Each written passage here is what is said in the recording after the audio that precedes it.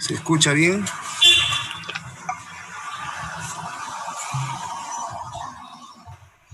Buenos días, sí, sí se escucha bien. Bien, tenemos 26 participantes, 32, 40 participantes. Vamos a esperar un momento más a ver si se pueden incorporar más personas. Estos ruidos es porque estoy aquí en mi casa. Estoy en el tercer piso de mi casa, pero ah, la cosa es que se escuche bien.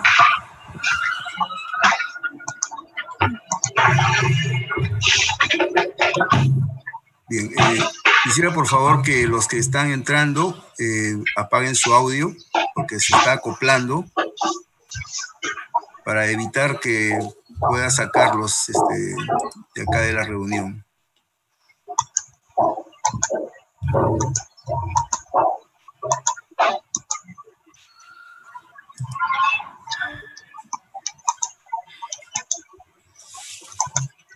Vamos a esperar un minuto más para poder empezar.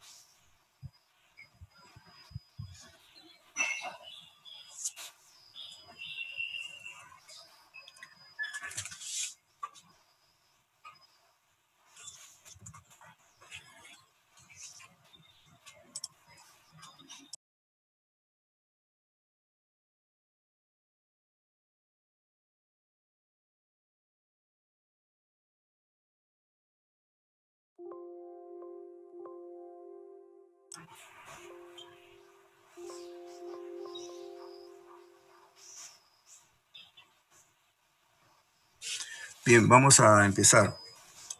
Eh, esta es una... empezar, buenos días a todos. Esta es una breve reunión que vamos a tener en esta semana, el lunes, martes y miércoles. Una serie de webinars que hemos programado en 360 Link con el propósito de poder compartir conocimiento, compartir experiencias y así todos los participantes puedan nutrirse de un poco más de conocimientos y poder escalar en su, vida profesional. Eh, cada, la temática de, los webinars es que hacemos una exposición inicial y luego hacemos una ronda de preguntas de unos 15, 20 minutos, media hora, lo que sea necesario, con el propósito de poder eh, solventar las preguntas o indagaciones o cuestionamientos que tengan sobre lo que se ha vertido en el webinar. Eh, fundamentalmente lo que vamos a ver acá es eh, temas de BIM, temas de mejoramiento continuo, sobre Lean Construction, eh, etcétera. Ya la publicidad la hemos sacado bastante la semana pasada, no hemos tenido mucho tiempo para eso, pero la idea es que los pocos o muchos que se hayan enterado estemos presentes para poder compartir algo de conocimientos. ¿no? Bien, voy a compartir mi pantalla para...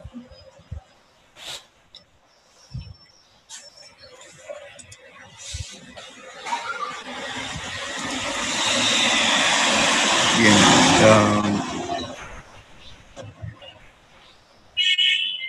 quiero mencionar que estamos enlazados también con 720 BIM, eh, que dirige este José Luis Rodríguez. Él será un expositor hoy en la tarde a las, a las 6 de la tarde es un experto en BIM y su empresa está relacionada justamente con proyectos de infraestructura desarrollados en, BIM.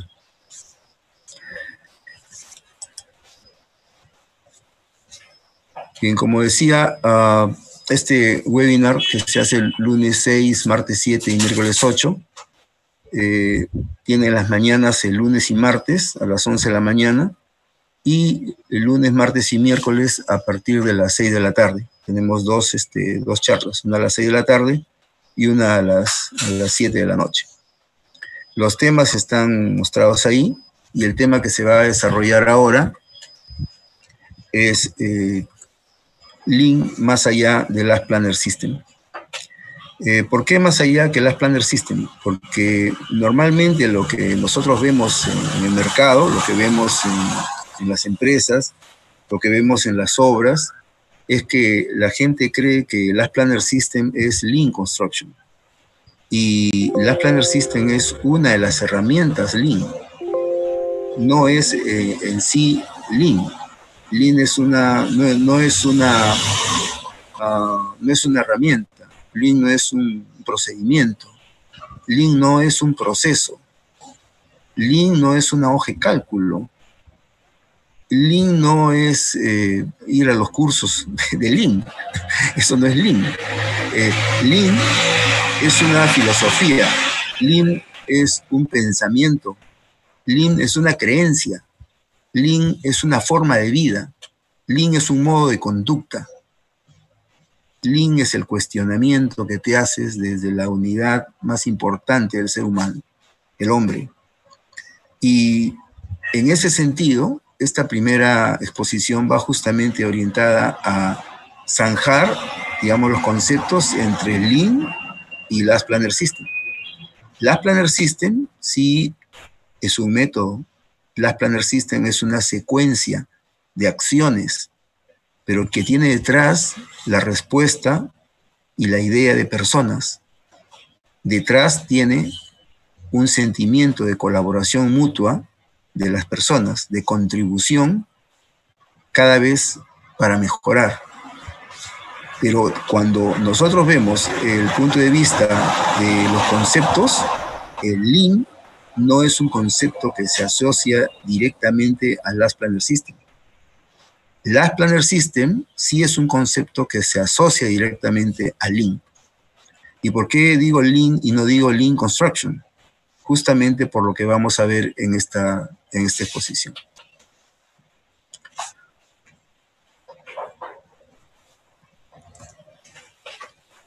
Eh, algo sobre mí. Bueno, tenemos ahí algo sobre mí. Ah, voy a dejar esto acá para que no se... Eh, mi nombre es Carlos Vargas Cárdenas, eh, soy ingeniero civil, egresado de la Universidad Pedro Ruiz Gallo de Lambayeque. Tengo una maestría, diferentes este, posgrados, etcétera, etcétera, etcétera.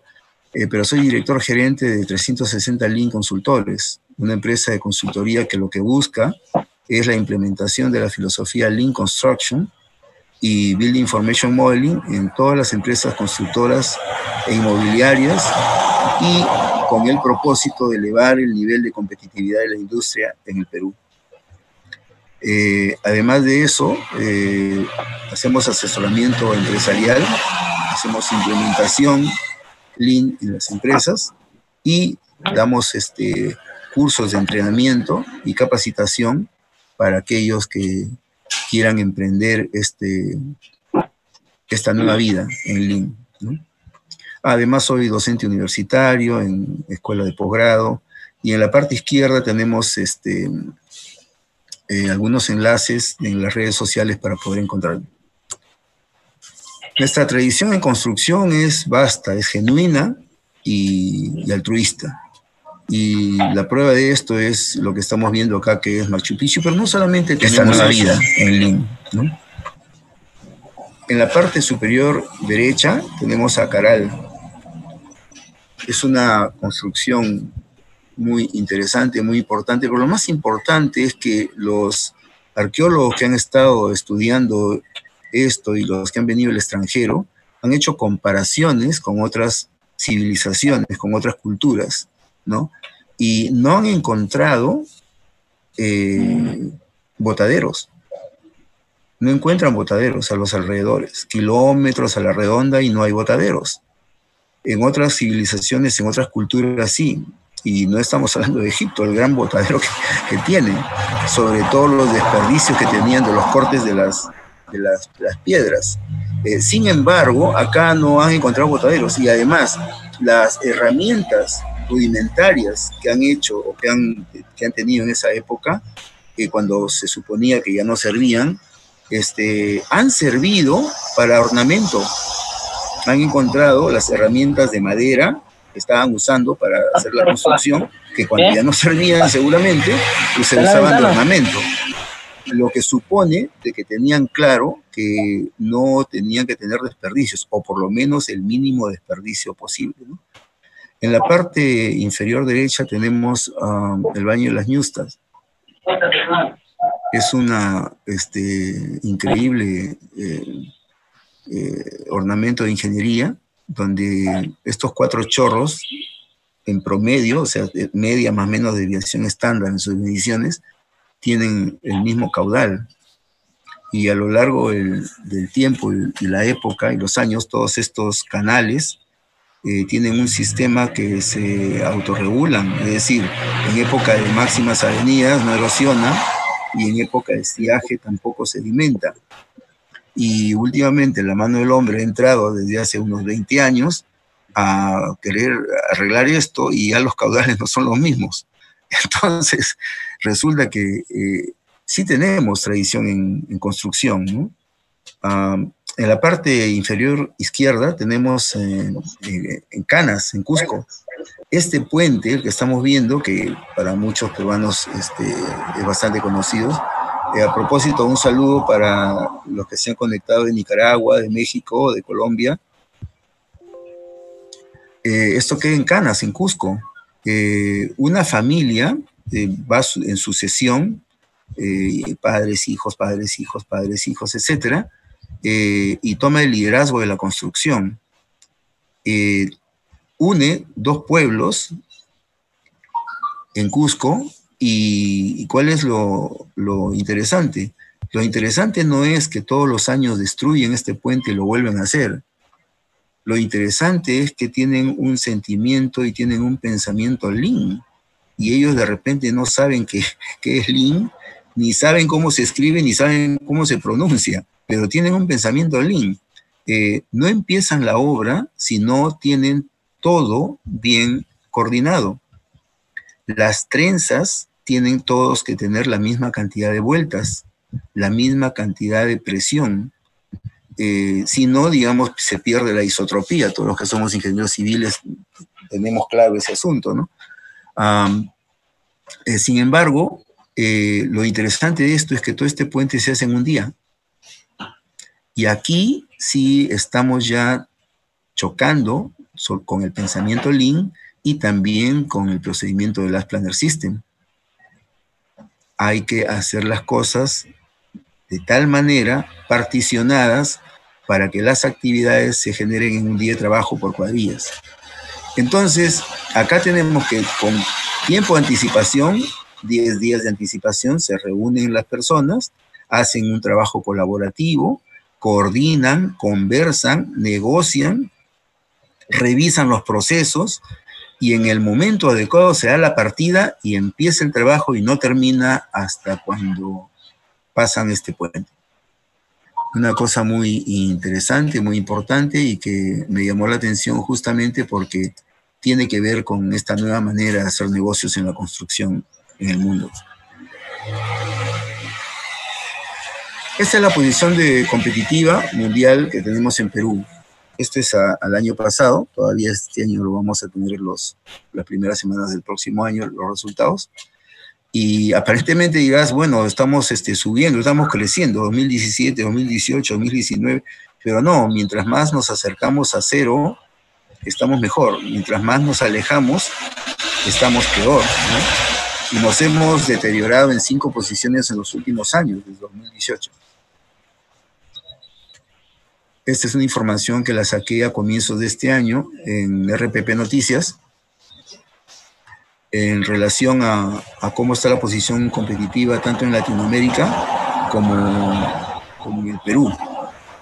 Y, como vemos, no estamos este, solos en la disminución de la competitividad. Hemos bajado del 2018 al 2019 dos puntos, dos puestos hemos bajado.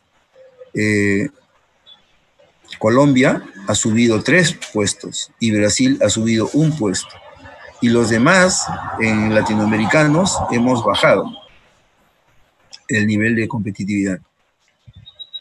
la posición de Perú en, el tema este, interno, tenemos que hemos subido en salud y en habilidades. Bueno, el Estado tiene un gran programa para gerentes, para instituciones del Estado, que está manejándose y está yendo muy bien, ¿no? Y lo demás, que tenemos flechitas rojas hacia abajo, estamos realmente, este, realmente mal, ¿no?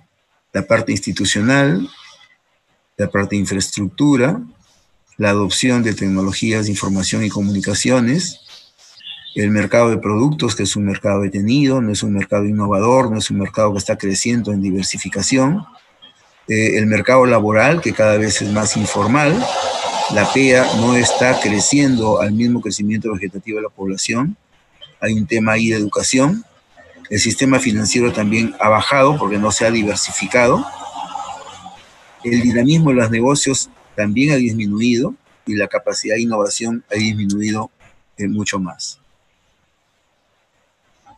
La, la, posición competitiva de Perú se ha venido deteriorando en los últimos años, acumulando una pérdida de cinco posiciones del año 2017, que se ubicó en el puesto 60, ahora estamos en el 65. El análisis de competitividad de la última década en Perú muestra dos tendencias claramente opuestas. La primera que se registra el 2007 hasta el 2012, donde se evidencia una importante ganancia de situación competitiva, y la otra que va desde el 2013 al 2019, donde la tendencia es una pérdida constante de competitividad. Entonces, desde 2007 hasta el 2012, hemos estado en un franco crecimiento competitivo. Sin embargo, a partir del 2013 hasta el año pasado, la tendencia ha bajado más de cinco, cinco puestos. Sin embargo, si nosotros vemos el aspecto macroeconómico, eh, sí estamos bien. En aspectos de infraestructura estamos muy mal, salud, educación primaria estamos también mal, innovación también estamos mal, muy lejos. Sin embargo, en los aspectos macroeconómicos estamos gozando de una muy buena posición en el mundo. O sea, para el exterior estamos muy bien. Pero eso ya lo sabíamos. Pero esto de repente eh, lo sabíamos tangencialmente. Esta es la brecha de infraestructura en el Perú en el 2008. ¿Qué es la brecha de infraestructura en el Perú? La brecha infraestructura es la diferencia que hay entre la curva de crecimiento y la curva de desarrollo. La curva de crecimiento que tiene el Perú tiene una pendiente más alta que la curva del desarrollo si es una función que tiene una gradiente más alta, la curva de crecimiento, y la curva de desarrollo una gradiente más baja, significa que hay una diferencia, que hay una flecha. ¿Se está escuchando bien? A ver, vamos a ver, vamos a parar acá para ver si se escucha bien.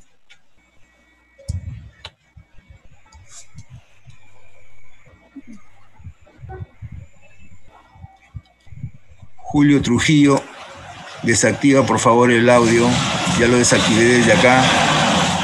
Desactiven su audio por favor para que no se acople. ¿Correcto? Para que no se acople, ok. Bien, ya estamos ahí.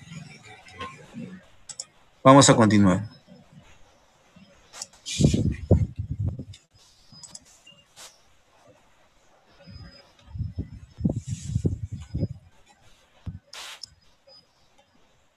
Bien, decía entonces que cuando la gradiente de la curva de crecimiento es mayor que la gradiente de la curva de desarrollo, encontramos una diferencia. Esa diferencia es una brecha. Y la brecha eh, eh, tiene cinco o seis tendencias. Brecha económica, brecha financiera, brecha social, brecha de infraestructura. Entonces, esta, la que estamos mostrando acá, es la brecha de infraestructura. ¿Qué significa? Significa que el año 2008 nosotros hemos necesitado 37.780 millones de dólares para hacer en infraestructura para que se equipare el crecimiento con el desarrollo, para que se une el crecimiento con el desarrollo. Así como nosotros tenemos una velocidad de crecimiento, tenemos también una velocidad de desarrollo. Pero las inequidades que vemos acá en el país es que el crecimiento es mucho más alto que el desarrollo, no alcanzamos. Y esa es la sensación que te da cuando dices, oye, pero yo trabajo, pero no tengo tanta plata como para crecer profesionalmente, mejorar la calidad de vida de los tuyos, etcétera, etcétera, etcétera. Y cuando tienes un alto nivel de endeudamiento, ¿no? Entonces, eh, eso es lo que sucede cuando tenemos este, unas brechas. Y la brecha de infraestructura tiene una tasa de participación bastante alta dentro del total de brechas que tenemos para equiparar el crecimiento con el desarrollo. Pero el año 2008, y no he ido más años más atrás, sino a partir del 2008 que tenemos una visión bastante clara, eran 37.780. Muy bien, el año 2012, proyectado al 2021, la brecha de infraestructura era 87.975 millones. 87.975 millones. Es decir, ha crecido cuánto? De 30 y... Vamos a cerrar a, a enteros. De 38 billones a 88 billones. ¿Cuántos billones de, de dólares ha crecido más? 50 billones de dólares. O 50 mil millones. Lo que significa que nos estamos distanciando más entre la curva de crecimiento y la curva de desarrollo. La curva de crecimiento está desarrollándose mucho más arriba y la curva de desarrollo o se está quedando o se está yendo más abajo. Sin embargo, el año 2015, ya estamos cerca, eh, esa brecha era 159.549, es decir, casi 160 billones de 88 billones de dólares hemos pasado a 160 billones de dólares, casi casi, 160 redondeando, más o menos. Es decir, cada vez que pasa el tiempo, la brecha de infraestructura en el Perú se comienza a agrandar cada vez más. Es decir, hay para hacer obras, claro que hay para hacer obras. Tenemos el dinero para hacer obras, ese es un tema eh, económico de político. No podemos hablar de economía si no hablamos de política. Y al revés, no podemos hablar de política si no hablamos de economía. Esto es mucho más reciente, si tenemos esto del año 2015, esto lo tenemos a fines del año pasado, me parece. Son 165 billones, es decir, 165 mil millones de dólares. Es decir, tenemos para hacer obras acá en el Perú, claro que tenemos para hacer obras en el Perú. Pero hemos visto últimamente que sale una obra y tenemos muy malas prácticas en la industria de la construcción. La obra no se termina en el plazo, se termina 2.5, 2.7 veces más del plazo, no termina en el presupuesto, las obras que están catalogadas menos de 100 millones están terminando a 3.5 y las que superan están, están terminando en casi 4.5 del presupuesto original. Y tenemos la maña de ampliación de plazo y sacar adicionales por donde sea, sin embargo, tenemos una gran cantidad de desperdicios y una inmensa cantidad de actividades que se desarrollan dentro del proceso de construcción que traen como consecuencia que se vaya el dinero en lugar de hacerlo en metrados o en obras. Y eso es justamente las pérdidas. El profesor Claudio Picci, de la Universidad de Sao Paulo, el año 1996 se atrevió a decir que de tres edificios que se podían hacer, eh, de los desperdicios de esos tres edificios, él podía construir un cuarto edificio. Y los estudios de investigación que hizo este, justamente daban cuenta de estos conceptos, ¿no? ¿Dónde están los desperdicios? Conceptos debido a atrasos, 1.5%, reparaciones y retrabajos, 2%, dosificaciones no optimizadas, 2%, pérdidas por mala calidad 3.5%, sobre espesores de, mortero 5%, restos de material 5%, reparación de obras entregadas 5%, yo creo que es un poco más, proyectos no optimizados 6%, creo que es un poco más, pero él llegó a un 30%, que es más o menos la tercera parte, ¿no? Entonces, eh, este 30%, ¿quién se lo lleva? Pucha, no se lo lleva nadie no va, pero ni las autoridades, ni al Estado, no va ni al gobierno regional, a la municipalidad, no va ni al cliente, no va ni al constructor ni a los subcontratistas, no va a nada, se pierde, se va. Entonces, lo que significa es que por cada unidad monetaria, nosotros estamos utilizando solamente 0.7 y 0.3 de cada unidad monetaria no se está utilizando en la práctica. Esa es la opción tecnológica que tenemos en la industria. Esto no es solamente de Perú, sino es a nivel mundial, ¿no? Y fíjense, la construcción es la segunda industria más atrasada en adopción tecnológica. Estamos aquí al, fondo.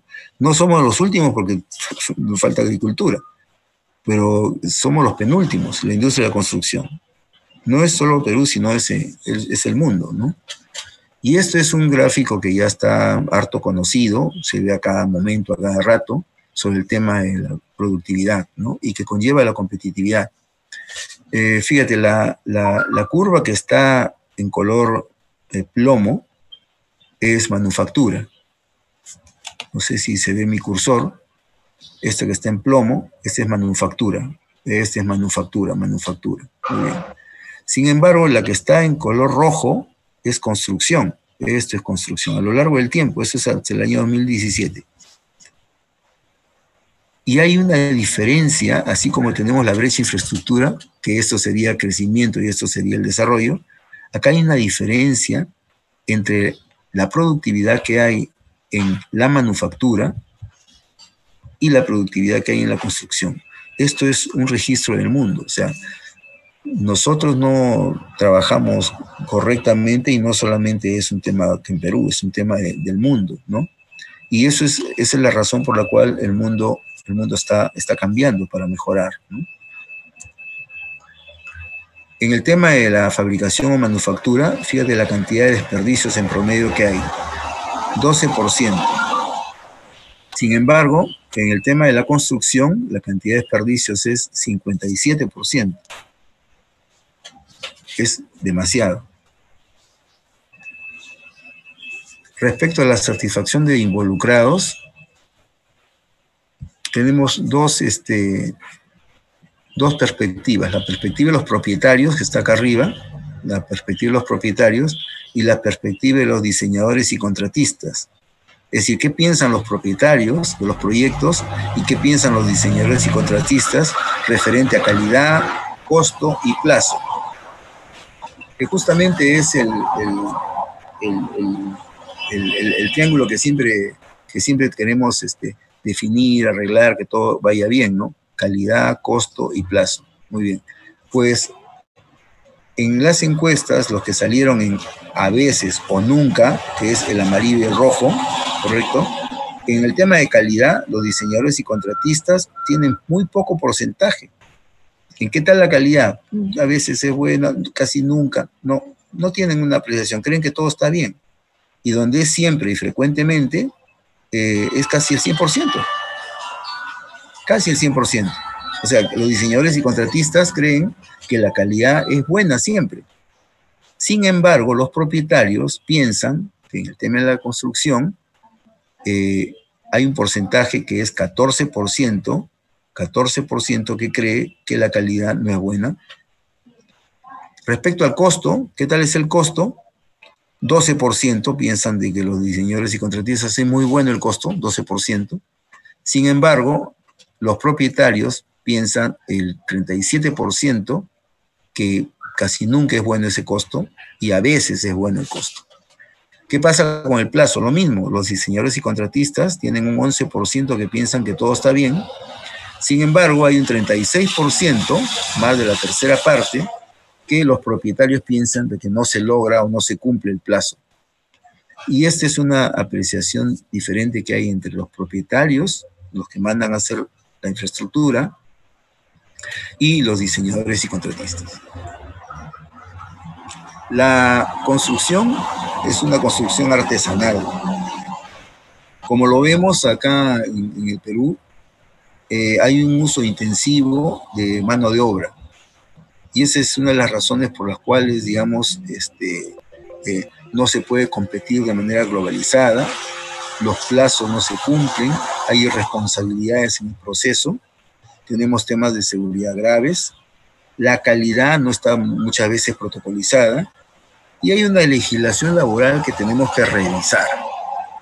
Porque normalmente lo que nosotros hacemos en, una obra es que nosotros contratamos gente que no está sindicalizada, pero debemos tener gente del sindicato también ahí. Esta expresión, la última que acabo de hacer, es una expresión recurrente. Es una expresión que cotidianamente la encontramos en las empresas, en las obras. No me queda otra que contratar a gente del sindicato. Eh, ¿Por qué? Porque son personas que no producen. Entonces, esta es una apreciación, que es una apreciación categóricamente cierta, pero que tiene que cambiar. En otras partes del mundo, los sindicatos proponen mejoras y acá los sindicatos proponen aumento de sueldo y menos trabajo. Estamos al revés, ¿no? Y eso es porque la construcción acá no está profesionalizada, no está industrializada, ni menos especializada.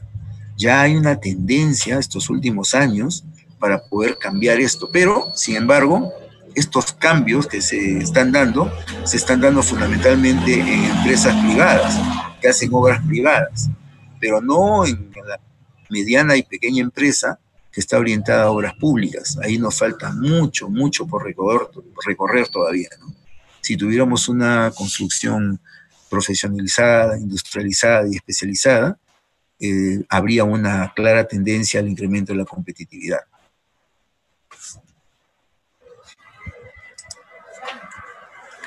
Eh, bueno, ¿qué es Lean?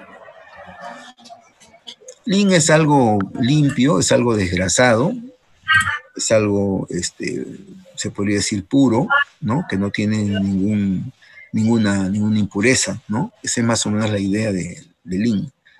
Eh, cuando tenemos este, este gráfico, nos damos cuenta que si nosotros tenemos, por ejemplo, un pedazo de carne y lo desgrasamos, ¿no? Encontramos ya una carne completamente desgrasada, ¿no?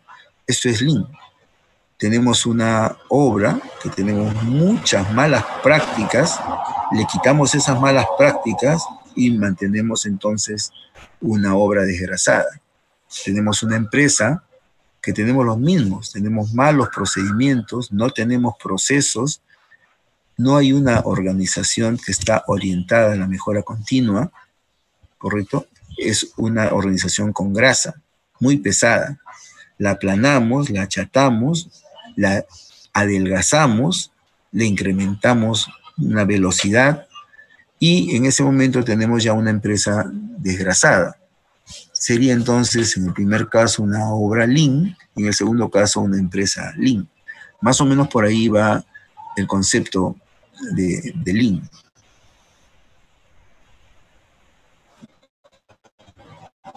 Pero tenemos acá Lean Accounting Lean Accounting, ¿dónde se está orientando? Se está orientando a la mejora continua de todos los procesos y procedimientos contables que traigan como consecuencia una manera metodológica de poder asesorar en toma de decisiones económicas y financieras, que es diferente. Normalmente nosotros tenemos en las empresas eh, el área de contabilidad y el área de contabilidad, este, ¿para qué sirve? y todos en coro decimos para SUNAT. Obviamente. Es decir, el contador a cada rato toca la puerta y, el ingeniero, y va a llamar al gerente o no sé a quién, este, faltan tres días. Faltan tres días para qué? Para hacer el pago a SUNAT. Pero si faltan tres días todavía, no, pero le voy, le voy avisando, ¿no? O sea, en lugar de ser un asesor económico financiero a la organización, se convierte en una persona que está haciendo la trazabilidad de los procesos que tenemos para pago de impuestos. Y no es así, ¿no? Entonces, Lean Accounting lo que hace es que todos estos procedimientos o todos estos procesos que tienen las organizaciones orientadas solamente para una cosa, se orienten fundamentalmente para poder generar crecimiento en el negocio. Y en contabilidad tenemos contabilidad de costos, diferentes, diferentes áreas que nos van a permitir generar procedimientos distintos desde el punto de vista operativo y estratégico para poder protocolizarlos y convertirlos luego en procesos. ¿Eso desde dónde viene? De, dos puntos de vista. De la parte operativa, de la, cuando se ejerce el proceso operativo o el proceso de construcción para hacer infraestructura, y desde la toma de decisiones que trae como consecuencia generar utilidades. Entonces, Lean Accounting es el desgrasamiento de todos estos procesos pesados, contables, engorrosos que tiene la contabilidad con el propósito de hacerlo más esbelto.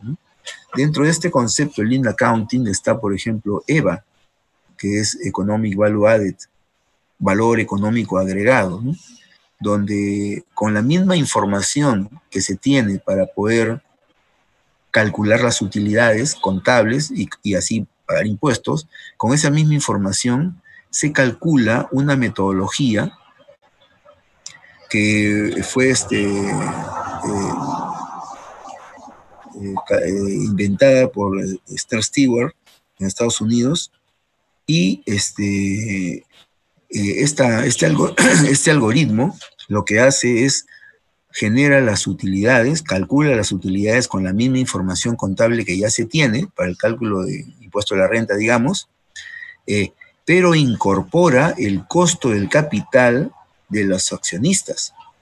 Normalmente cuando nosotros estamos haciendo una contabilidad y hacemos un estado de ganancias y pérdidas, eh, vemos valorizaciones totales del, mes, vamos a suponer,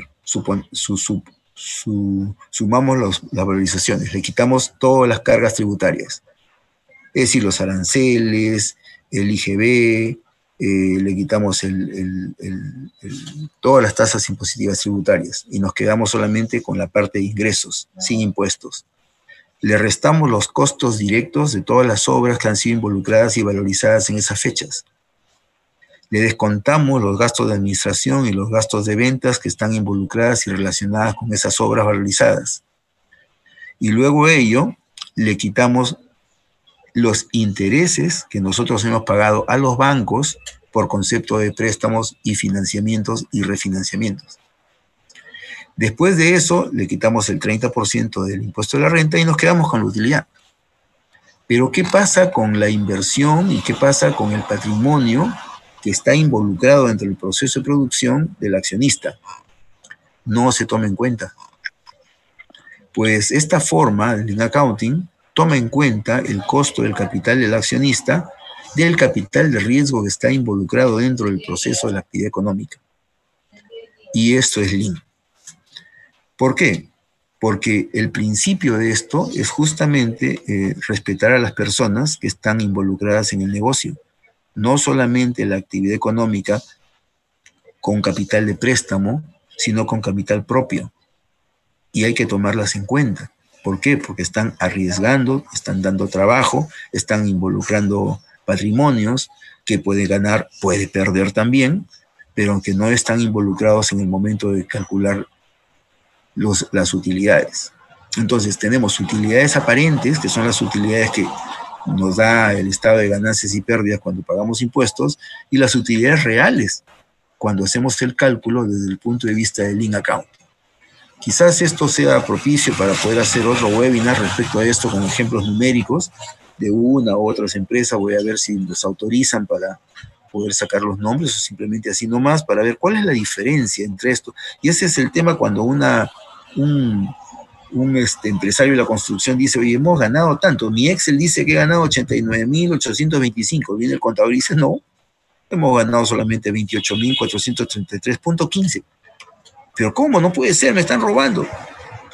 Y el tema va porque hay mucho, mucha grasa en ese camino. Hay mucha grasa. Esa grasa hay que sacarla. Es el link accounting. Si esa grasa nosotros la supiéramos desde el comienzo, tomamos acciones y decisiones operativas en una obra con el propósito que al final impacte positivamente en la contabilidad real. Esa es la actitud. Eso es Lean. Y tenemos también a Lean Manufacturing. Lean Manufacturing, bueno, es mucho más antiguo, los ingenieros industriales conocen mucho de esto, de esto de Lean Manufacturing. Acordémonos que Lauri Cosquela traduce todo lo que tenía, eh, traduce en su tesis doctoral, todo lo que ya había en Lean Manufacturing, lo traduce a la construcción. Todo lo que está en Lean Manufacturing lo pasa a la construcción y dice, nosotros en la construcción, todo lo de Lean Manufacturing, ¿qué podemos usar? Uno, el pensamiento Lean, fundamentalmente. El pensamiento Lean. Eliminar la mayor cantidad de desperdicios, generar valor a los clientes, con el propósito de poder generar un sistema de mejoramiento continuo. Perfecto, muy bien. Pero se chocó con las malas prácticas que había en la construcción, pero adoptó algunas de las herramientas que tiene Lean Manufacturing para poder aplicarlos a la construcción y le llamó Lean Construction. Acuña esa, esa expresión de Lean Construction, la Esquela, y toma, como hemos visto acá en algunos anillos que están alrededor del círculo que dice Lean Manufacturing, algunas herramientas que ya son conocidas, ¿no? Algunas herramientas son conocidas, ¿no? Por ejemplo, tenemos acá total, calidad total, en la parte izquierda, no sé si se ve mi cursor, calidad total. ¿eh? Tenemos también acá en Lean Construction. Tenemos Six Sigma, también estamos viendo eso en Lean Construction. Tenemos las 5 S, también está en Lean Construction. Tenemos Kaizen, también tenemos en Construction. Just in Time, Kanban, Jidoka, Pokayoke, es decir, hay varias herramientas BCM, eh, varias herramientas que tiene Lean Manufacturing que están aplicándose también en Lean, Construction. Pero Lean Manufacturing, digamos, es la, la madre del cordero. Es la situación primigenia de las actividades que se estaban dando en una secuencia operativa de acciones que permitían hacer un trabajo mucho más eficiente. La eficiencia es la, la palabra que está este, relacionada con Lean Manufacturing. Bueno, y luego Lean Management. Lean Management viene a ser, bueno, esto es la gerencia, ¿no? Lean en la gerencia. ¿Cómo será Lean en la gerencia? Y fíjense, esta es una foto que la tomé, este, esto fue en Trujillo, estábamos haciendo una consultoría con mi esposa, una tienda de departamentos bastante conocida, no se dicen los nombres, bueno, ya vi el logo, bueno, este, y, habían recibido un stage eh, respecto a procesos, ¿no? Pero cuando llegamos, este, vimos que lo que estaban haciendo es una implementación Lean, que hacían desde Chile. Y justamente por eso querían, digamos, una, una, una visión un poco más cercana, más aterrizada, más este, orientada al país, eh, por eso lo hacían desde Chile, eh, eh, y por eso estuvimos ahí. fíjense lo que, lo, que, lo que dice ahí, ¿no? Desperdicios, dice cuatro principios Lean, flujo, pull, ritmo, cero defectos. Y esto es lo que vamos a aprender en estos días de estos webinars. Y vamos recurrentemente a escuchar pull, ritmo, flujo, cero defectos y otras cosas más probablemente. Eh, en la parte izquierda han identificado desperdicios. por ejemplo, hay desperdicios en sobrestock, quiebres de stock, retrabajos, áreas en exceso, recirculaciones, esperas, esos son los desperdicios que habían, búsquedas, habían identificado sus propios desperdicios. Y estos mismos desperdicios son los desperdicios que se están orientados a Lean Management, ¿no? Es más, en la parte inferior derecha dice Lean y abajo dice, se pronuncia Lean, es decir, no sabían todavía ni, ni pronunciar, pero ya estaban inmersos dentro del pensamiento, el pensamiento Lean. ¿Qué es en buena cuenta Lean Management? Lean Management o gestión Lean es una evolución natural de la cultura Lean Manufacturing, iniciada en Japón los años 70 a partir de Toyota Production System, el sistema de producción Toyota, donde los ingenieros Taichi Ono, el caballero que está en la parte izquierda, eh, Toyoda, el que está al centro, y Shigeo Shingo, el ingeniero que está a la derecha de las tres fotos que, están en la parte inferior, desarrollaron un sistema de producción que eliminaba desperdicios y respondía a los cambios del mercado y que adicionalmente redujera costos. Fíjense, en ese momento, toda esta, esta, este reto que se habían, que se habían este, formado todos ellos. Bien, hasta aquí vamos a, a parar para ver si es que hay algún inconveniente. ¿Todo se escucha bien? ¿Podrían apagar sus, por favor, su, sus micros?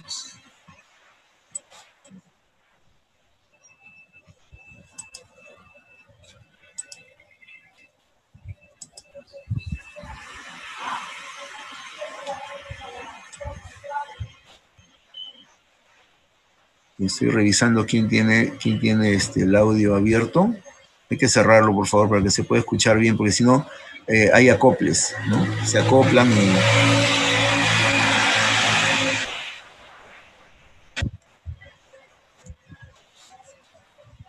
Bien, vamos a continuar entonces.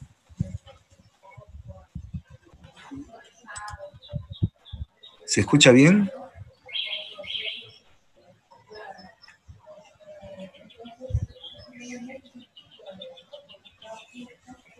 Correcto, ya todos los micrófonos están silenciados. Muy bien, muchas gracias. Muchas gracias, Yesit mm, Morales. Muchas gracias. Todos están apagados. Vamos a continuar entonces. Muy bien, voy a compartir mi pantalla.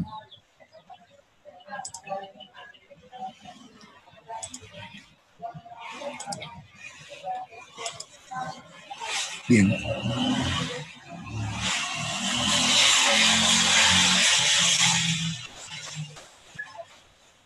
Lean Management pretende romper los tres paradigmas fundamentales asociados al Lean Manufacturing. ¿Cuáles son esos tres paradigmas? El primero es, Lean no es exclusivo de la industria del automóvil, definitivamente.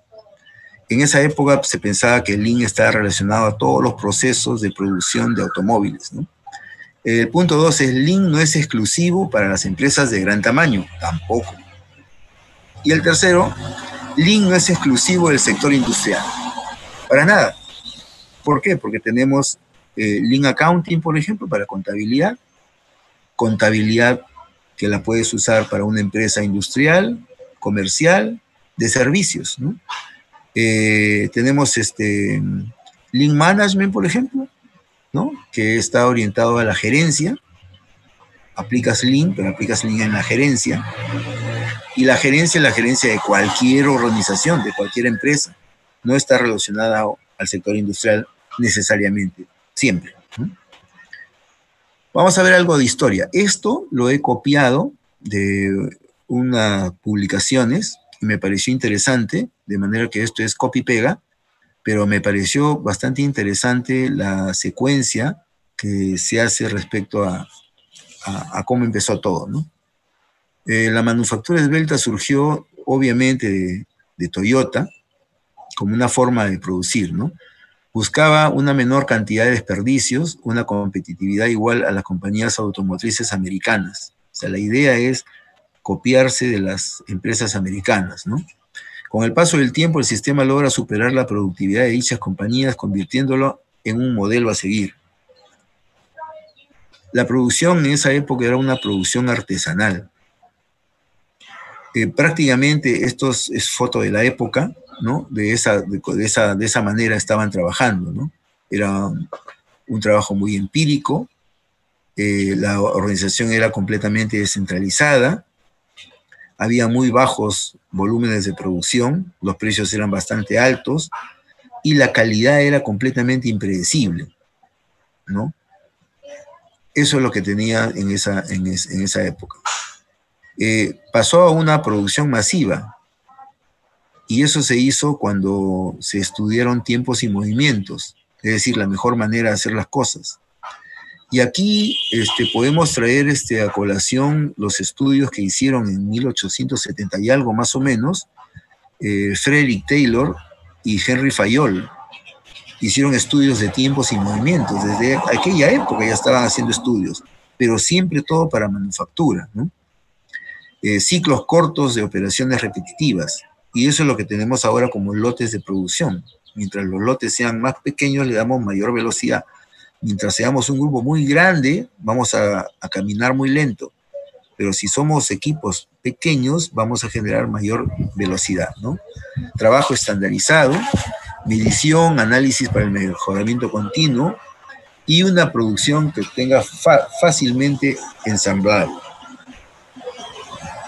Henry Ford tenía el modelo De sus, de sus, de sus carros, ¿no?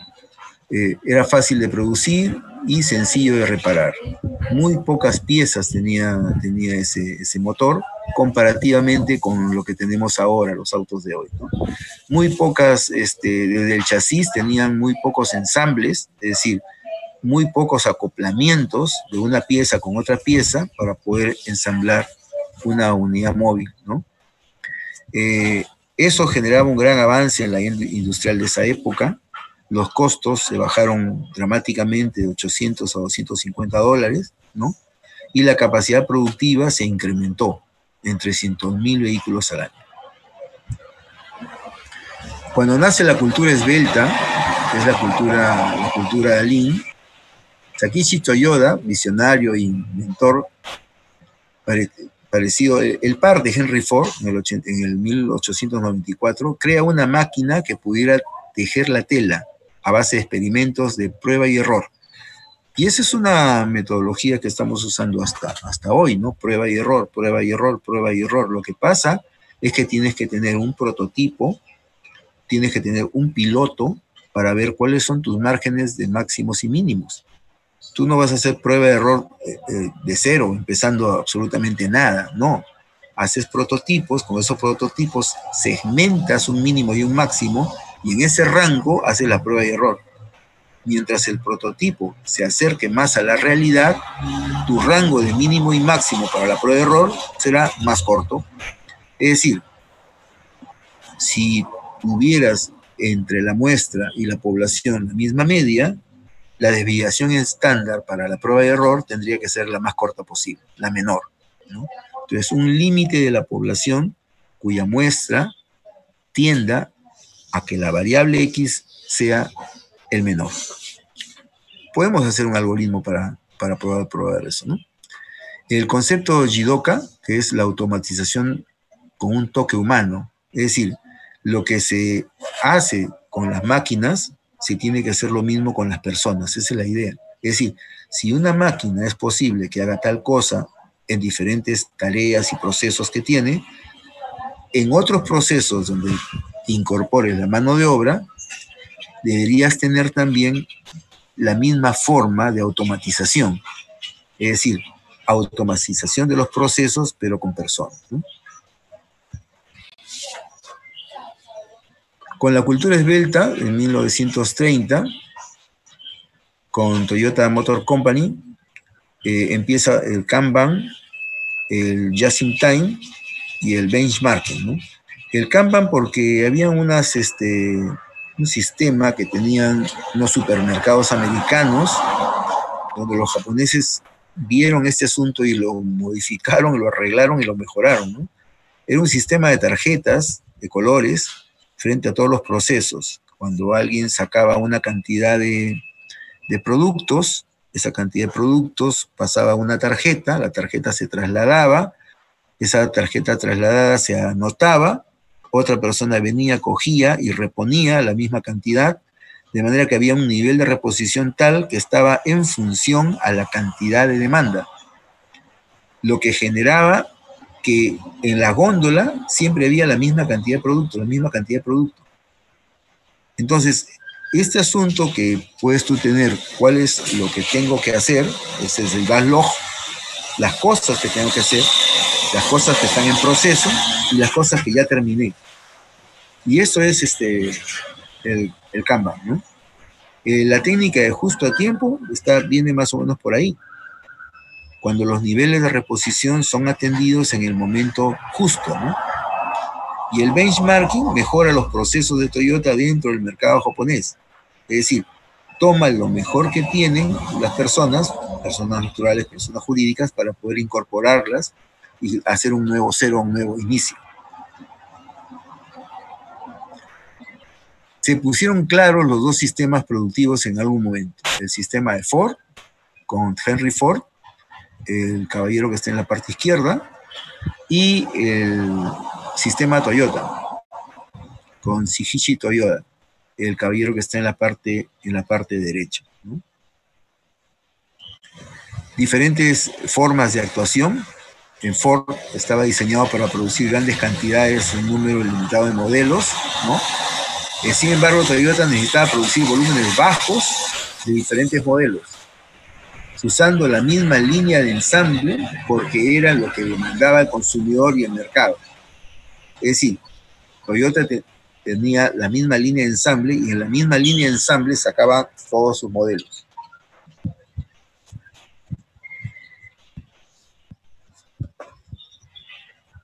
Toyota requiere adaptar el proceso de manufactura de Ford para obtener alta calidad, costos bajos, cortos tiempos de entrega y mucha flexibilidad en el proceso. Habían diferentes pasos que hacer. primer paso, los artículos individuales se surten conforme estos disminuyen su número dentro del estante, es decir, como la gente lo va requiriendo. Y ese es un sistema de trabajo pool, como vamos a ver más adelante. Segundo paso, inventario de seguridad o reposición cuando ya llegamos hasta un nivel de, de insumos, reponemos, digamos, el nivel original. El tercer paso, se envía una señal para resurtir las partes. Ese es el Kanban, el sistema de tarjetas, Entonces, estas son las cosas que hizo este Toyota para adaptarse a los procesos de manufactura de Ford. En el proceso de mejora continua, Edward Deming plantea un sistema integral cíclico de planificar, hacer, verificar y actuar, ¿no? Y, acá nos tocamos con un punto que es el cliente interno y el cliente externo. Hay dos tipos de cliente, cliente interno y cliente externo. Y el asunto importante es que nuestro cliente externo probablemente sea quien nos contrata. El cliente externo viene a ser la persona natural o jurídica que nos ha adjudicado la buena pro. Pero tenemos un cliente interno y el cliente interno está orientado por los insumos y los recursos que son las actividades que vienen después de nosotros, a quien nosotros entregamos el trabajo. O sea, a estas actividades que son actividades que siguen después de nosotros, es una actividad sucesora, ese es nuestro cliente. Y la actividad que está detrás de nosotros o una actividad antecesora, ese es nuestro proveedor. Entonces, la actividad antecesora es nuestro proveedor. Esa actividad antecesora entrega su producto terminado porque nosotros somos su cliente nosotros hacemos el proceso y le entregamos la actividad a nuestra actividad sucesora, que es nuestro cliente interno. Entonces, en algún momento nosotros somos clientes internos y en otro momento somos proveedores internos. ¿no? Esa es la, la, secuencia del trabajo. Si trabajásemos así, estaríamos eh, mucho mejor. ¿Por qué? Porque ¿qué hacemos con nuestro cliente? Con nuestro cliente le damos lo mejor posible a nuestro cliente o la actividad sucesora le entregamos todo nuestro producto terminado lo mejor posible para que sigamos siendo clientes. Pero ¿qué hacemos con nuestro proveedor, con la actividad antecesora? Primero verificamos que nos va a entregar a tiempo. Tenemos que hacer una verificación. Generamos una política diferente que la política con el cliente. Le exigimos a la actividad antecesora. La actividad antecesora le estamos exigiendo cumplimiento, cantidad, oportunidad, mejoramiento, que es nuestro proveedor. Pero la actividad sucesora, que es nuestro cliente, lo estamos eh, encuestando. Estamos preguntando de qué manera podemos mejorar nuestro producto terminado con el propósito de que sus procesos sean mucho más livianos. Entonces, esa forma de trabajar es una forma, es una forma pool. Hacemos lo que específicamente se va a necesitar.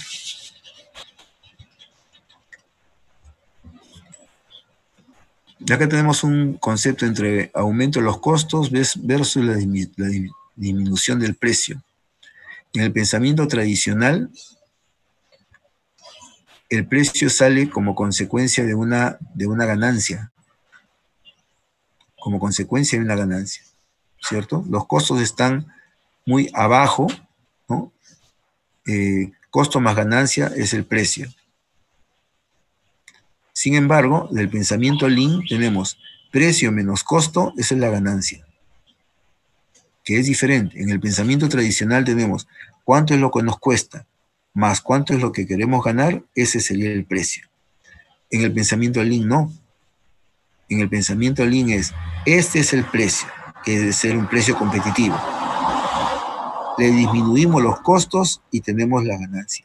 Entonces, en el pensamiento tradicional, a los costos que ya tenemos, le incrementamos cuánto queremos ganar y sale el precio.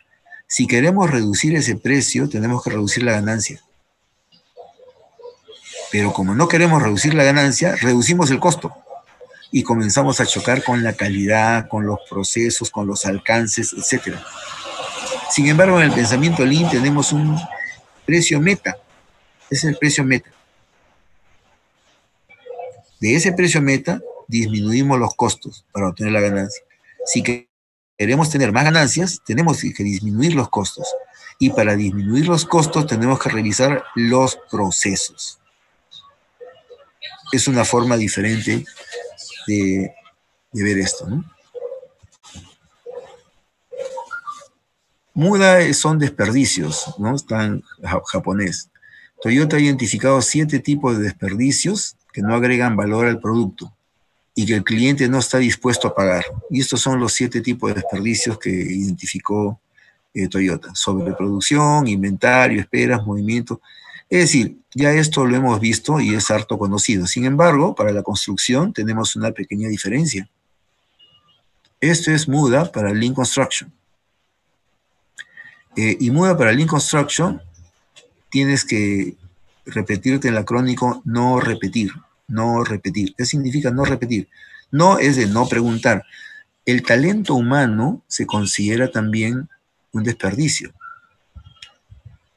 Ya hay estudios de investigación que se están haciendo para ver de todos estos desperdicios en obras diferentes cuál es la tasa de participación de cada uno de estos desperdicios en diferentes tipos de obra.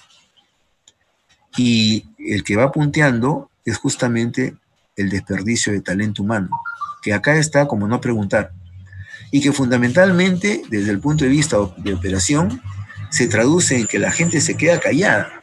Y normalmente tú le dices en una obra, explicas algo, y ¿han entendido? Nadie te va a decir no, nadie quiere perder su trabajo. ¿Han entendido todo? Sí. ¿Alguna pregunta? Nadie hace nunca preguntas. No hacen preguntas, no hacen preguntas. Una vez que se termina la reunión, todo, sale toda la gente y de repente se acerca un operario, después de dos, tres minutos, ingeniero, sí, quiero conversar con usted, ¿de qué se trata? Y te lanza la mejor pregunta que hayas escuchado esa semana. Y tú quieres darle una buena respuesta, pero que escuchen todos. Y no preguntó en su momento. Es un talento desperdiciado por no escuchar. También. No escuchas bien, la gente está distraída, no escucha bien cómo es la cosa. Y después comienza a preguntar, comienza a preguntar, comienza, pero en forma individual. Y la idea es de que pregunte en forma colectiva con el propósito de que se pueda compartir una respuesta y quizás se pueda objetivizar esa misma respuesta, se pueda cuestionar esa respuesta y se pueda encontrar una forma mejor para poder darle solución a algo. Esa es la idea. La idea es un ambiente colaborativo de trabajo, un clima organizacional que esté orientado a la colaboración mutua. Los retrabajos es el que esté en segundo puesto en, la tasa de participación. Y eso es porque estamos haciendo un trabajo push, hacemos el trabajo que se debe hacer, y si no lo puedes hacer, hazlo, hay que meter el hombro, saca adelante esto. Esas son las expresiones idiomáticas que están este, antes de los retrabajos. ¿no? ¿Se puede hacer esto? Y la gente dice, va a ser un poco difícil. Yo sé que tú lo puedes hacer, hermano. Tú y tu gente, yo los conozco, sí lo hacen. Sáquenlo adelante. Sí, pero no hay ningún pero, hermano. Arranca nomás. Esas expresiones idiomáticas traen como consecuencia retrabajos futuros.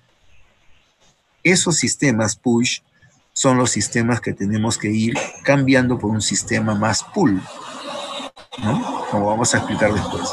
Entonces, no repetir significa no de, no preguntar, R de retrabajos, E de esperas, P de producir de más, E de exceso en procesamiento, T de transporte no necesarios, I de inventario y R de residuos. Entonces, si nosotros quisiéramos ver por dónde debemos empezar en una obra para poder mejorarla, tiene que ser por la identificación de los desperdicios. Rápidamente haces una caminata Gemba, eh, un Gemba Walk, para poder determinar dónde están los desperdicios, ubicar dónde están los desperdicios con el propósito de poder generar procedimientos distintos que no permitan más generar ese desperdicio. Tomar decisiones corporativas con el propósito de poder eh, distribuir a todas las personas que están involucradas y no cometan el mismo error que trae como consecuencia un desperdicio. Entonces, estos son los desperdicios que se han identificado para Lean Construction. Si estamos hablando de desperdicios, estamos hablando de no repetir. ¿Qué pasó con la administración de proyectos? Este es un timeline de la administración de proyectos. Fíjate, desde el año 1950 aparece Ruta Crítica. En el 69 aparece el Project Management Institute, PMI. En 1984, el Yahoo Goldratt sale con of Constraints, que es teoría de las restricciones o teoría de las limitaciones, El tema de los cuellos de botella, etcétera, etcétera.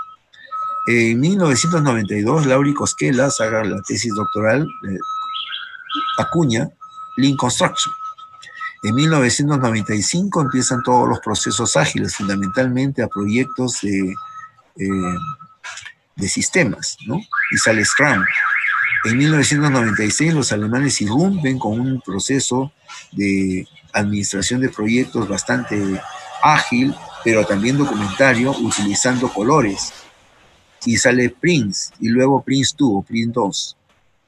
En 1997, las cadenas críticas toman por asalto prácticamente las obras civiles y están generando en lugar de holguras, buffers, en el año 1997. Y es un nuevo concepto que se incorpora justamente a estas tecnologías ágiles de hoy. Y en el año 2000, en el año 2000, Glenn Ballard este, eh, eh, sale con las Planner System. Craig Howell y Glenn Ballard toman información, datos, estudios de investigación que hacen en diferentes tipos de empresas y obras y proponen un sistema de trabajo como una herramienta que permita, bajo la filosofía Lean Construction, generar un procedimiento que asegure el flujo y que le dé a la planificación cierto nivel de confianza. Que el nivel de confianza se vaya incrementando conforme se va incrementando los procesos de producción en una obra. Eso es las Planner System, que no compite con otras formas de trabajo. No entra en las Planner System y salen otras formas de, de, trabajar, no, no, coadyuva, ayuda, incorpora, propone, colabora. Esa es una forma diferente de poder hacer el, trabajo productivo secuencial, cíclico y organizado. Entonces hemos pasado de ruta crítica, nos hemos pasado hasta las Planner System, fíjate, nos hemos saltado a la garrocha desde el año 50 hasta el año 2000.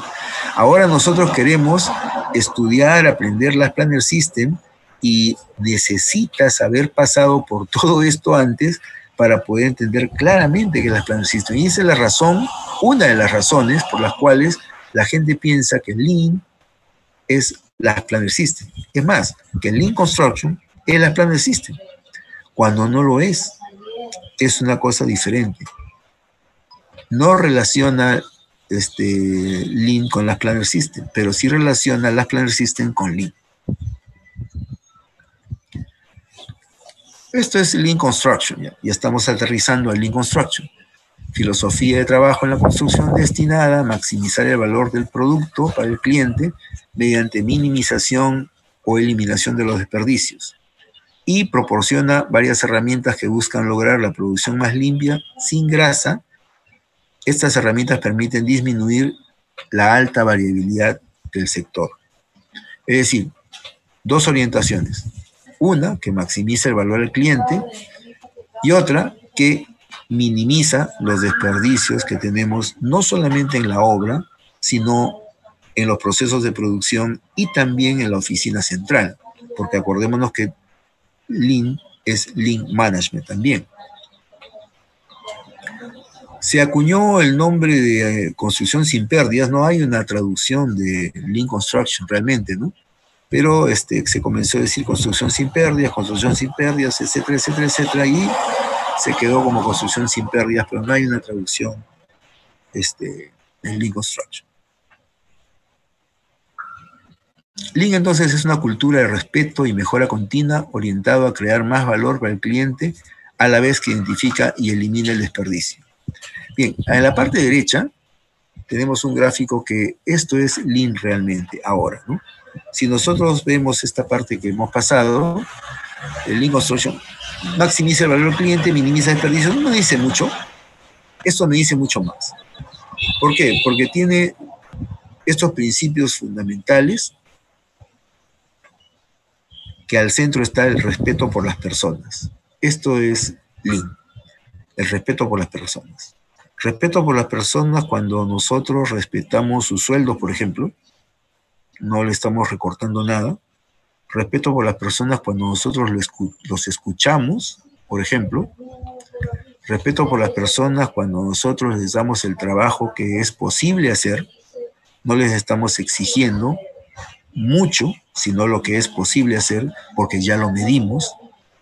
Respeto por las personas cuando nosotros les damos todos los implementos de seguridad y calidad necesarios para que hagan su trabajo de manera idónea.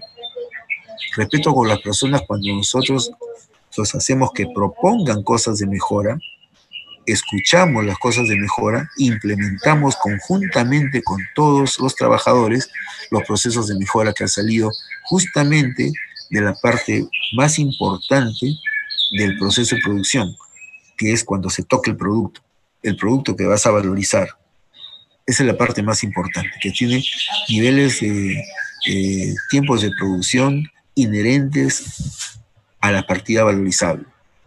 Entonces, el respeto por las personas es un aspecto fundamental desde el pensamiento Lean.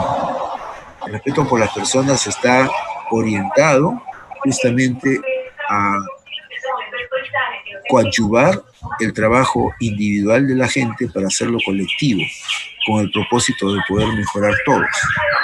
Esa es la idea fundamental. Y hay cinco principios que rodean a este principio fundamental de respeto por las personas. Tenemos la optimización de todo, todo lo que podamos optimizar, todo lo optimizable se puede optimizar. Es una es una premisa, ¿no? Todo lo optimizar. Mira, optimizar es una palabra que hay que tomarla con mucha responsabilidad. ¿Por qué? Porque, ¿qué significa optimizar? Optimizar significa que vas a mejorar, que ya no lo podrías mejorar más. Optimizar significa que vas a maximizar algo, que ya no lo puedes maximizar más, o vas a minimizar algo, ya no lo puedes reducir luego. Eso significa optimizar. Entonces, cuando estoy optimizando, significa que estoy generando una mejora que bajo los lineamientos actuales y bajo los supuestos actuales que tengo, ya no podría mejorar más. Si la condición futura cambia y tengo elementos de juicio que me permitan la mejora, volveré otra vez a optimizar. En ese momento, lo que significa que ya ese proceso, ese procedimiento no estaría optimizado. Entonces, la idea es optimizar todo. Fíjate, esto es como, no sé, un día estaba en Huanchaco, era niño y estábamos, estábamos pescando. Huanchaco es este, una playa en Trujillo, ¿no? Eh, estábamos pescando. Y yo lanzaba mi sedal, más o menos tendría unos 10 años, 11 años creo, lanzaba mi sedal más o menos a unos 10 metros, pues, ¿no? no sacaba nada. De vez en cuando sacaba por ahí un pejerrey, ah, una alegría increíble, etcétera, etcétera. Y vi un pescador.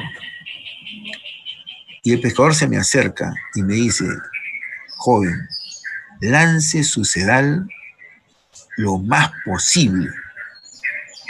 Pero le digo lo más posible, pero si los pescados están acá abajo, pues se están viendo los pescados. No, lo más posible, lo más lejos posible, lo más posible. ¿Y cuál es la... ¿Por qué? Le pregunté.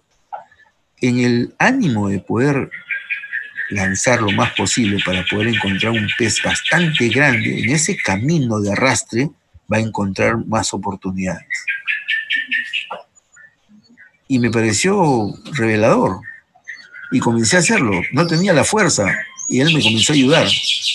Y efectivamente, me salían cuatro o cinco pejerreyes en lugar de uno, cada dos horas, cada hora y media, se, acababa la tarde, nos teníamos que regresar, me iba con mis dos pejerreyes, ahora me iba con mis 10, 12 pejerreyes. Entonces, optimizar todo va por ahí. Lanza el sedal lo más posible. En el ánimo del arrastre vas a encontrar un montón de cosas que vas a poder optimizar. El siguiente punto es minimizar el desperdicio. Cuando estamos hablando de desperdicio, ¿de qué estamos hablando? Cheque. Estamos hablando de esto, no repetir. Entonces, si vas a minimizar los desperdicios, tienes que darte cuenta dónde tienes que focalizarte.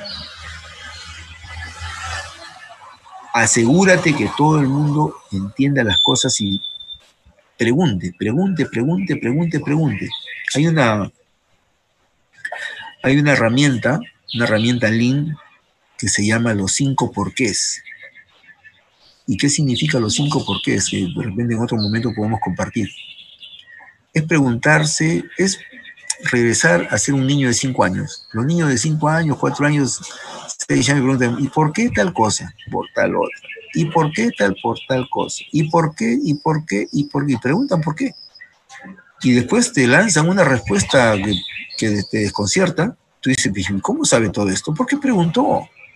Porque preguntó, por eso sabe. Entonces, los cinco porqués es una herramienta lean de trabajo dentro de una obra, dentro de una empresa, con el propósito de encontrar cuál es la causa raíz del problema. Porque a veces nosotros encontramos un problema y ese problema no es problema, es una consecuencia de algo pero no es un problema realmente.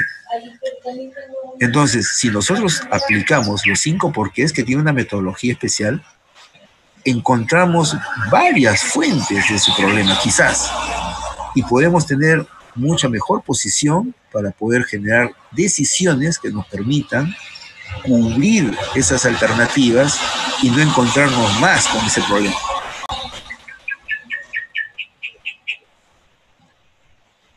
Entonces, minimizar desperdicios va justamente por ahí, por focalizarnos a no repetir y a definir las decisiones que nos traigan como secuela eliminar los desperdicios o disminuirlos dramáticamente. El tercer punto es focalizarnos en el flujo y el proceso, en el flujo y el proceso, en el flujo y el proceso. La focalización del flujo y proceso tiene mucho que ver con el tema de la excelencia operacional. Es decir, en un proceso de producción tenemos que eliminar los cuellos de botella y tenemos que eliminar las capacidades instaladas ociosas. Ese flujo no tiene que parar. Es decir, si empezamos un proceso de producción, generamos un flujo, deberíamos generar un flujo. No generamos una posición de entrega, es decir, un input, process, output. No, no, no. No generamos una posición de entrega.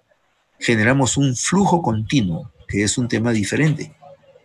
El flujo continuo se diferencia del input, process, output, porque el input, process, output lo que hace es una secuencia de proceso de producción lineal. Es una secuencia lineal. Lo que se tenga que hacer, se va a hacer lo que se tenga que hacer. Y si no, se hace sí o sí. Acá no. Acá nos tenemos que asegurar que tenemos los insumos, la oportunidad y las condiciones para poder empezar el trabajo. Si no tenemos esas condiciones, no las vamos a empezar porque no la vamos a terminar, la vamos a terminar parcialmente y vamos a chocar probablemente con calidad. Generación de valor. La generación de valor es a todo nivel.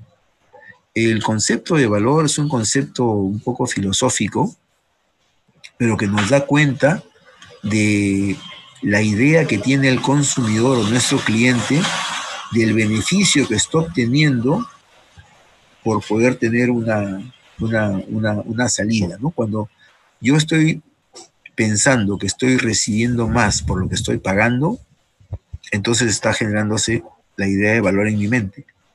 Cuando yo estoy diciendo que estoy recibiendo más de lo que estoy dando, se está generando en mi mente una idea de valor. Entonces, la generación de valor es trasladar tu producto terminado a tu consumidor final con el propósito de que tenga una idea de beneficio más que la idea de entrega. Y el tema de mejora continua, ya ese es un tema que se ha visto, digamos, en las aulas este, universitarias, se ha visto en los colegios probablemente, se ha visto en la vida, etcétera, pero que no la hacemos. Y esto es formar una conciencia de mejora continua. La conciencia mejora continua es hacer hoy algo mejor que lo que he hecho ayer y mañana algo mejor de lo que hago hoy. Este tema, que es solamente una expresión idiomática nada más, se tiene que procedimentar. Hay procedimientos donde esos procedimientos generan unos protocolos que nos permiten orientar la mejora continua, calcular la mejora continua, documentar la mejora continua y generarle una estadística a la mejora continua. Cuando hacemos todo eso, realmente estamos aplicando la mejora continua desde el punto de vista del Lean.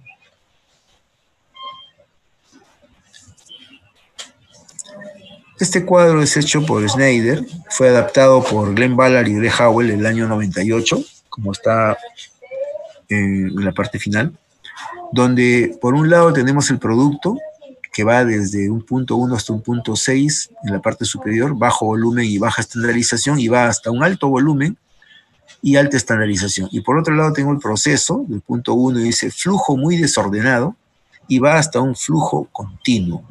La idea es que estos son los proyectos que estamos trabajando actualmente.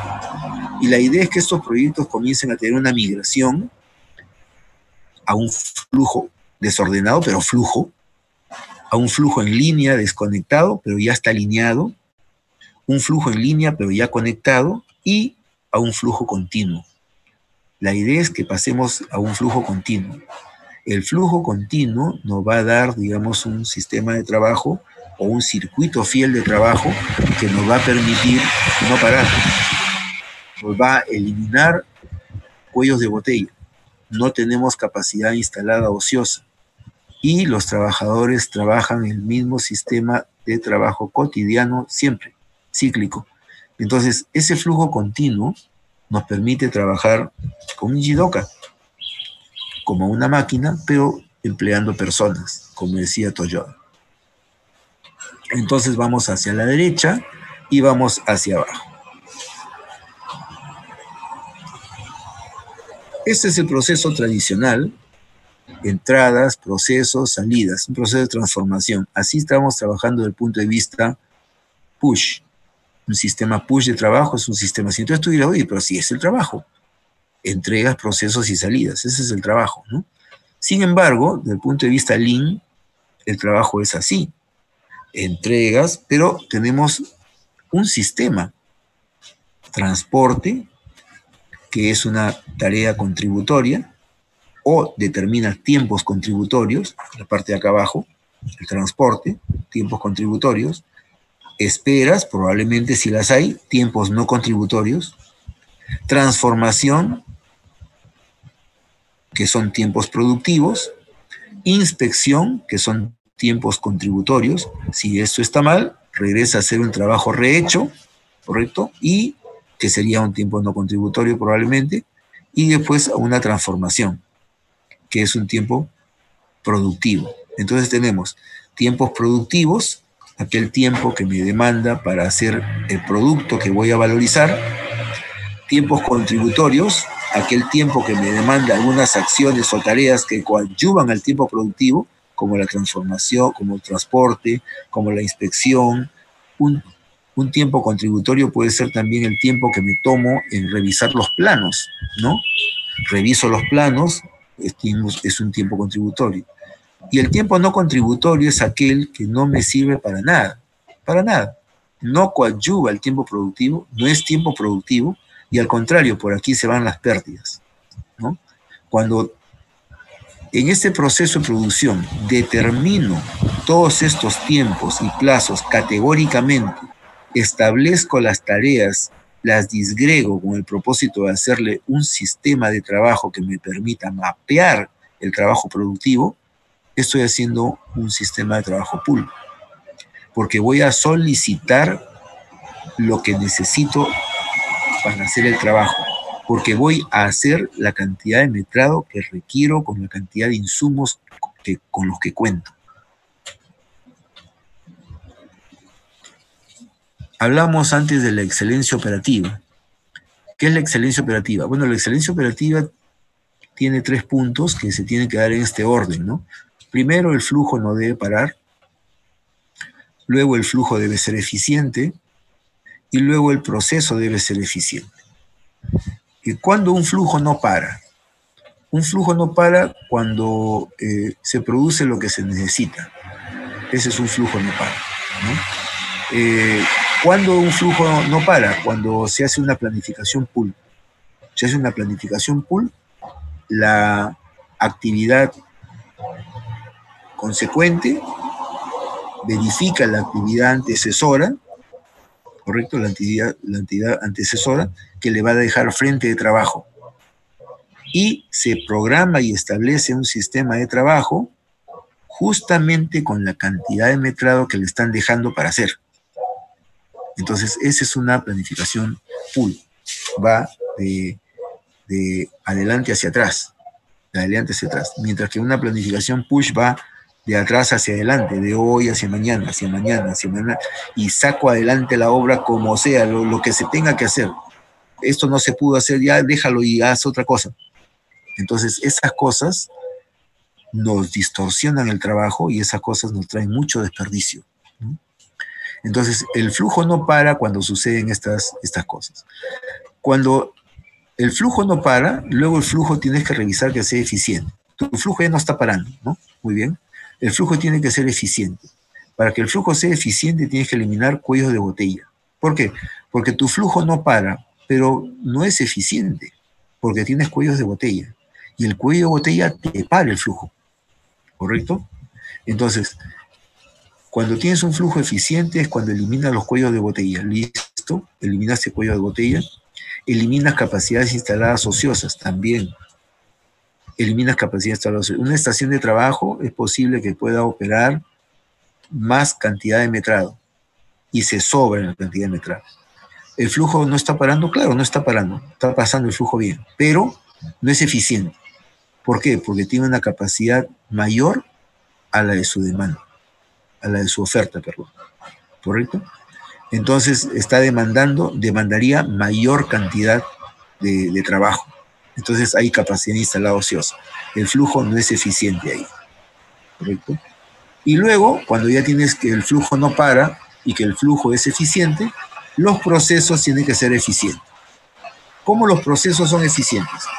A todos estos procedimientos de trabajo, porque ya tienes procedimientos de trabajo, cuando el flujo es eficiente, tienes procedimientos. Y los procedimientos se están trasladando, se están haciendo, se están generando, se están operando, ¿correcto? Hasta ahí estamos bien. Estos procedimientos de trabajo los tienes que convertir en procesos de trabajo. ¿Y cómo conviertes un procedimiento en un proceso de trabajo? Cuando lo protocolizas. ¿Qué significa protocolizar?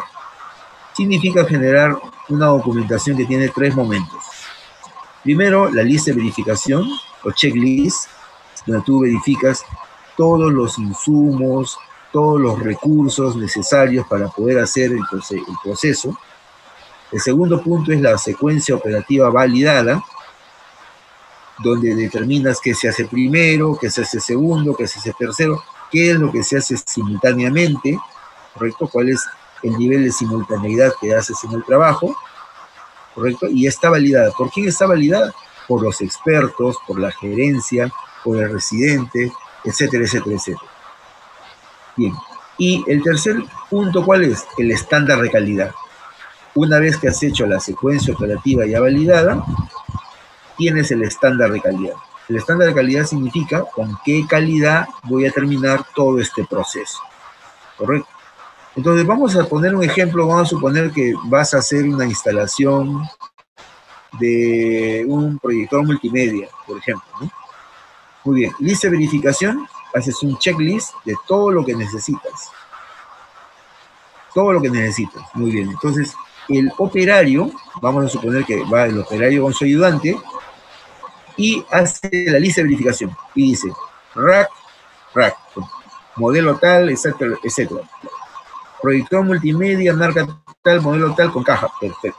Escalera bipié con seguro y, y, y, de, de, aluminio, 1.40.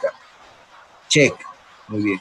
Destornillador estrella número 4, destornillador estrella, etcétera, todo, todos los insumos, todos los insumos. Cortador de cable milimetrado, etcétera, todo una vez que haces la lista de verificación, hace la secuencia operativa. Entonces, primero, abrir la caja del rack y ensamblar.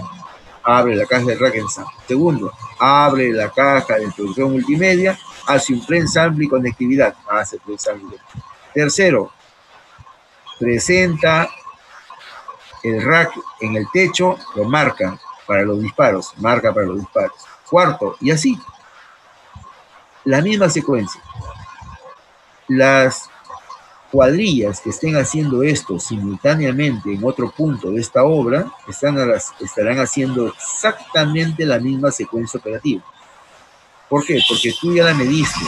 Has visto que esa secuencia operativa tiene el menor costo, tiene la menor trabajabilidad, tiene la mayor cantidad de vida útil cuando está el producto terminado, etcétera, etcétera, etcétera. Es decir, ya has probado que es la mejor secuencia operativa, por eso dice validada. ¿Quién la ha validado? Los expertos, los que han hecho las mediciones. Para eso has tenido que ver cuántas veces se hace ese trabajo y elegir la mejor, el mejor procedimiento. Y ese procedimiento validarlo. Esa es la secuencia operativa. Y al final el tercer documento es el estándar de calidad, a qué nivel de altura, de altura debe quedar, cuál es este, el, ángulo de inclinación si está bien, cuál es el ajuste de los pernos que, tienen tantas vueltas, etcétera, etcétera, etcétera. Las distancias que hay a la izquierda, a la derecha, etcétera, etcétera. Ese es el estándar de calidad. Entonces, para que tu proceso sea eficiente, todos los procedimientos que están dentro de este sistema de trabajo en flujo, hay que protocolizarlos. El trabajo entonces es, el trabajo Lean es entonces generar confianza, no tener temores a los conflictos, generar compromisos con los involucrados, determinar las responsabilidades y el logro de los resultados positivos que sean conjuntos. Esto no es el logro del, del ingeniero residente, no es el logro del ingeniero de producción, no es el logro solamente del gerente, no es el logro del gerente de operaciones, no es un logro positivo, pero es un logro en conjunto. Entonces, para generar confianza es clave el liderazgo. El liderazgo tiene que ser un liderazgo efectivo. ¿no? Hay que tener mucho conocimiento de todos los temas de la obra. Por ejemplo, un asunto muy importante en una obra para poder ejercer liderazgo es aprenderse los planos. Los planos es eh, no digo de memoria porque sería una cuestión, no, voy a decir de memoria. Te los tienes que aprender todos los, los detalles, ¿no? Es para generar liderazgo, ¿no? El don de mando tiene que ser en base al respeto y a la confianza. No es que el, que grita más, el que dice la mayor cantidad de carajos en una obra, ese es el jefe, no. El don de mando está en base al respeto. Acordémonos que la base fundamental de Lean Construction es respeto por las personas. Entonces está en base al respeto y a la confianza. La gente tiene que tener confianza para preguntar, por ejemplo. La gente tiene que tener confianza para decir, no puedo hacer esta chamba. ¿Por qué? Porque nos vamos a reunir. Y está en base a la confianza. El nivel de confianza eh, es importantísimo en esto. Y la confianza determina, por ejemplo, que una cuadrilla de trabajos de repente se levanta su, su capataz y dice, ingeniero, no podemos hacer esto. No pueden hacer esto. Ustedes sí pueden hacer, vamos, tú sí puedes, sí puedes. No, no es así. No es un tema push. No es un tema push. No puedo hacer esto. Muy bien. ¿En qué condiciones podrías? ¿Cómo lo logramos? Muy bien. ¿Cómo hacemos entonces? ¿Qué necesitas? ¿Cómo podemos contribuir para que tú puedas lograrlo? Y si no se puede, no se puede. ¿Se acabó? Así de sencillo. Si no se puede, no se puede. Hay un cálculo mal que hemos hecho en la planificación. ¿Por qué? Porque la programación no está acorde con la planificación. Hay algo mal que hemos hecho nosotros, no ellos, sino nosotros. ¿No es cierto? Entonces, eso es generar, generar confianza. Los sistemas de trabajo, para que no generen conflictos, tienen que ser ganar-ganar. Sistemas colaborativos, ¿no?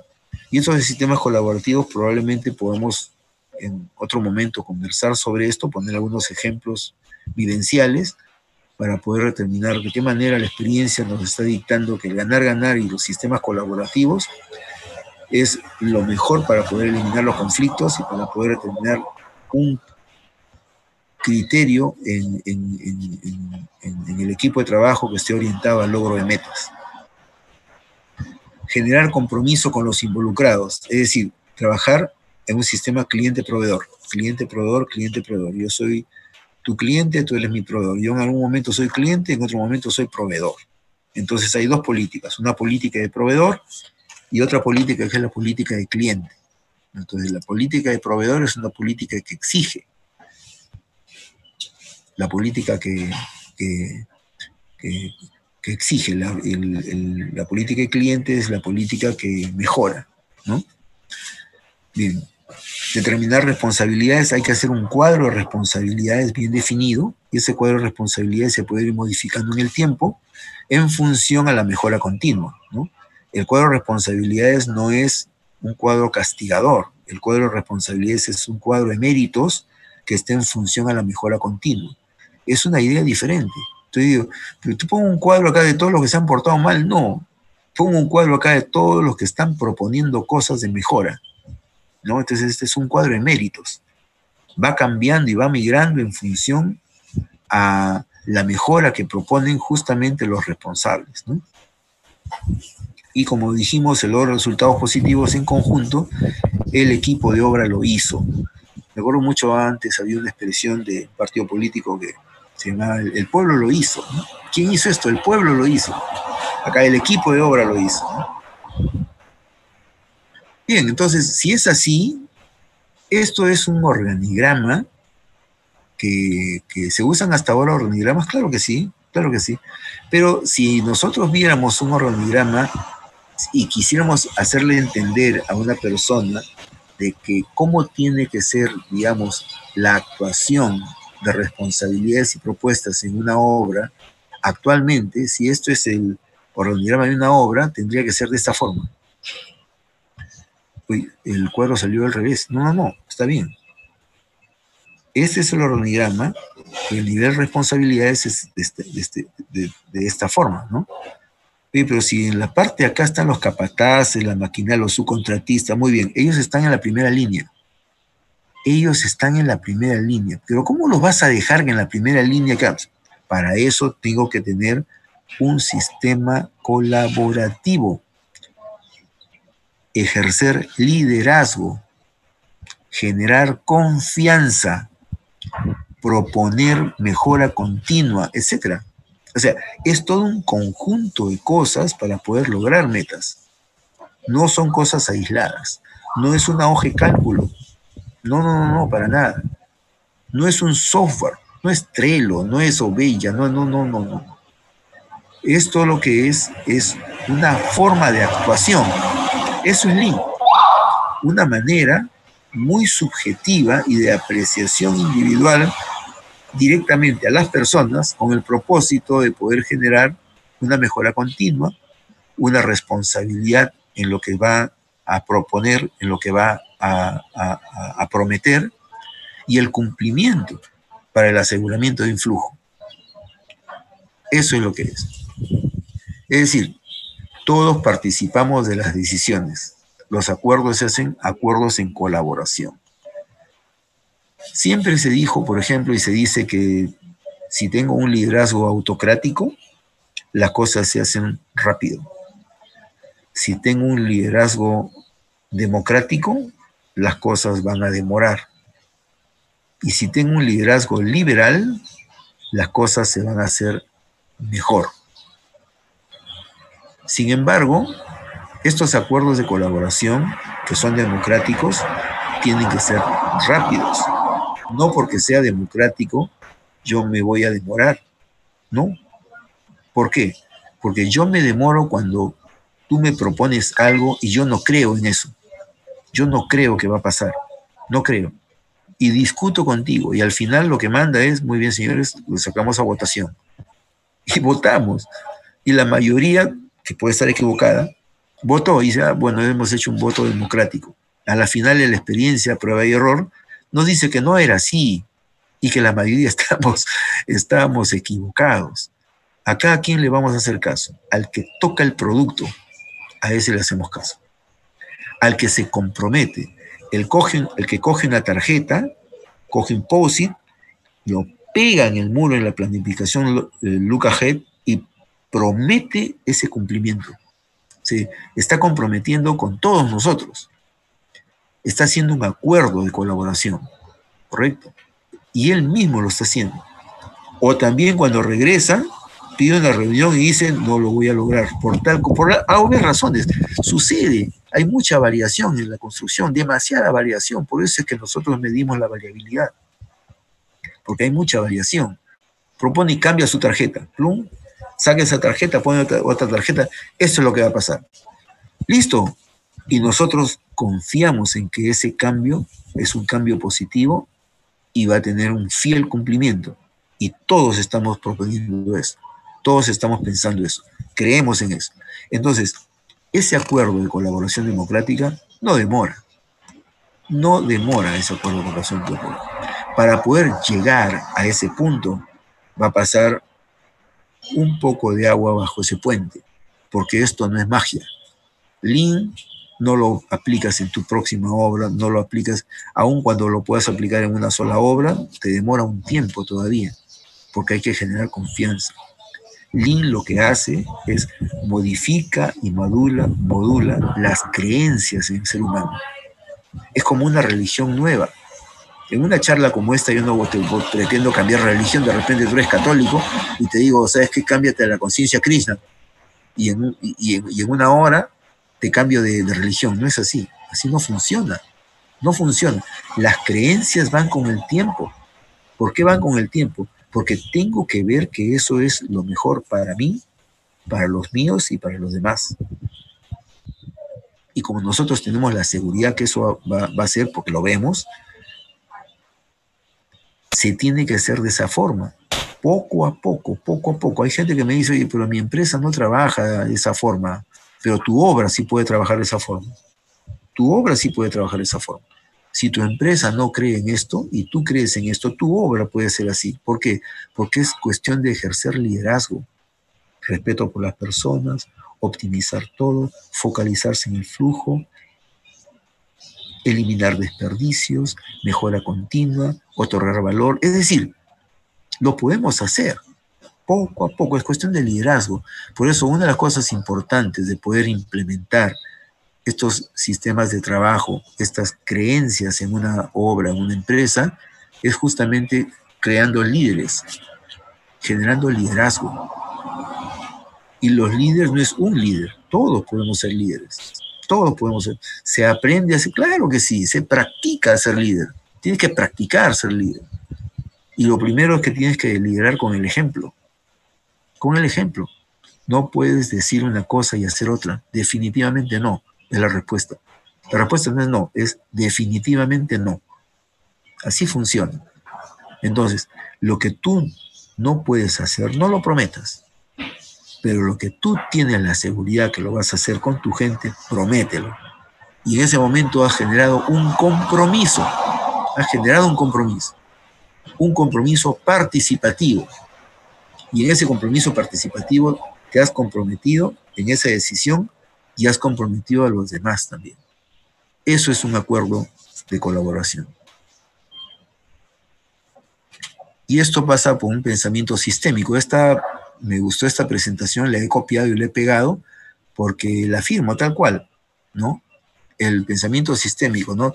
Todos los integrantes tienen un mismo fin en mente. Todos tenemos un fin en mente. Estamos orientados a algo, ¿no? El éxito depende no de las acciones, sino de la interacción y comunicación entre los equipos. Es clave, es clave. No existen jerarquías. No existen jerarquías. Tú eres el ingeniero residente, tú eres el gerente de la obra, tú eres el gerente de producción, tú puedes decir, señor, ¿sabes que ustedes van a hacer esto? Sí o sí. Después te voy a ver con los trabajos rehechos. Después voy a ver que no, no se puede liberar por tal cosa, etcétera, ¿no? Al margen que si la gente, porque la gente es una, cosa de locos, si la gente te toca reacia esto, olvídate con el boicot. Entonces, este asunto tiene que ser un asunto imperativo, pero democrático, ¿correcto? Imperativo ¿por qué? Porque tú tienes que ejercer el liderazgo para poder llegar con esta palabra a la mente de las personas. Llega con la palabra a la mente de las personas. ¿Cuál es la palabra? Ya tiene los principios Lean ahí. Esa es la palabra. Esa es la palabra. Pero tú tienes que empezar por hacer empieza a hacer. Entonces tienes que enseñar haciendo. Esa es la idea. Todos deben tener un rol, son parte del proceso. Es clave también, todos tienen que tener un rol, todos, es es un equipo, es un equipo. ¿Cuál es la diferencia entre un grupo y un equipo? ¿Cuál es esa diferencia entre un grupo y un equipo? ¿Cuál será la diferencia? Eh, bueno, es un conjunto de personas que siguen un fin común. Ese es un grupo y también un equipo. Pero ¿dónde está la diferencia? es que todos están tras el mismo objetivo, lógicamente. El grupo y el equipo tienen el mismo objetivo, pero ¿dónde está la diferencia entre el grupo y equipo? Y la diferencia está que cuando nosotros trabajamos en grupo, todos hacemos lo mismo. Todos hacemos lo mismo. Y empujamos el carro y llegamos a un objetivo común. Cuando trabajamos en equipo, cada uno tiene un rol diferente y ese rol diferente está en función a su propia capacidad que el líder ha escogido, ha determinado y ha asignado. Esa es la diferencia. Y además hay otra cosa más. Cada uno de nosotros tiene la confianza que mi compañero de equipo lo va a hacer bien. Lo va a hacer bien porque no hay nadie que haga mejor la parte que le ha tocado. Tengo esa seguridad que lo va a hacer bien. Ese es un trabajo en equipo un trabajo en grupo, todos hacemos exactamente lo mismo, todos hacemos exactamente lo mismo y sacamos adelante las cosas. Hay momentos en una obra, y esto es categórico, que el trabajo hay que hacerlo en grupo, definitivamente. Hay partidas, hay actividades, hay tareas inclusive, donde el trabajo tiene que hacerse categóricamente en grupo pero hay otras donde necesariamente se tienen que hacer en equipo, si no, no va a funcionar bien. Va a funcionar, pero no bien. Se tienen que hacer en equipo. Entonces, como líder de esa obra, como líder de esa empresa, como líder de ese emprendimiento, tienes que tener la enorme capacidad para poder determinar y diferenciar cuál es lo mejor, que este trabajo se haga en grupo que este trabajo se haga en equipo. Hemos delimitado en edificación, por ejemplo, algunas actividades que son claramente definidas para hacerse en grupo y para hacerse en equipo, que podemos compartirlas en otro momento. Todos son parte de las decisiones, ya lo hablamos, todos estamos de acuerdo en los procesos, estándares y políticas, perfecto, no se justifica incumplimientos por un tema de no estoy de acuerdo con los procesos. Obviamente que no. Obviamente que no. Eso se dice antes. este proceso, no estoy de acuerdo con este proceso. Ya es un proceso. No estoy de acuerdo con este procedimiento. Es discutible. Es discutible. Pero el proceso es un proceso que tiene ya una validación. Normalmente los procesos son procesos corporativos, porque acuérdate que los procesos son procedimientos que se han protocolizado. Entonces ya son corporativos, ¿no es cierto? Correcto. Ese es el concepto de conciliencia. Edward Wilson, en su libro Conscience, La unidad del conocimiento, eh, la traducción es literal eh, del inglés al, español, ¿no? En español sería conciliencia, ¿no? Eh, es la disposición por la voluntad de unir los conocimientos y la información de distintas disciplinas para crear un marco unificado de entendimiento. Es decir, fíjate, ¿qué más colaborativo que esto? ¿Qué más colaborativo es eso? El concepto de conciliencia viene a ser la unión de diferentes conocimientos, información y datos, pero de disciplinas diferentes, para crear un marco unificado de entendimiento. El Visualization Construction y el IPD tiene mucho de conciliencia. Cuando estamos tratando de tomar decisiones que involucran la constructabilidad de una obra, pero desde etapas tempranas del proyecto, estamos haciendo una conciliencia, porque estamos involucrando a muchas personas que van a tener una participación activa dentro de ese proyecto, pero las estamos involucrando conjuntamente con el propósito de poder crear un marco unificado de entendimiento para poder entendernos todos. Esto es una, una grabación interesante que me pareció bastante elocuente. Esto es tomado del movimiento americano contra la guerra del año 1937, ¿no? Fíjate, aquí tenemos dos, dos burros, ¿no? Dos burros, dos borricos, dos asnos, y cada uno le han dado su, su, este, su parte para que pueda comer, ¿no? Y obviamente no van a llegar porque están amarrados del cuello.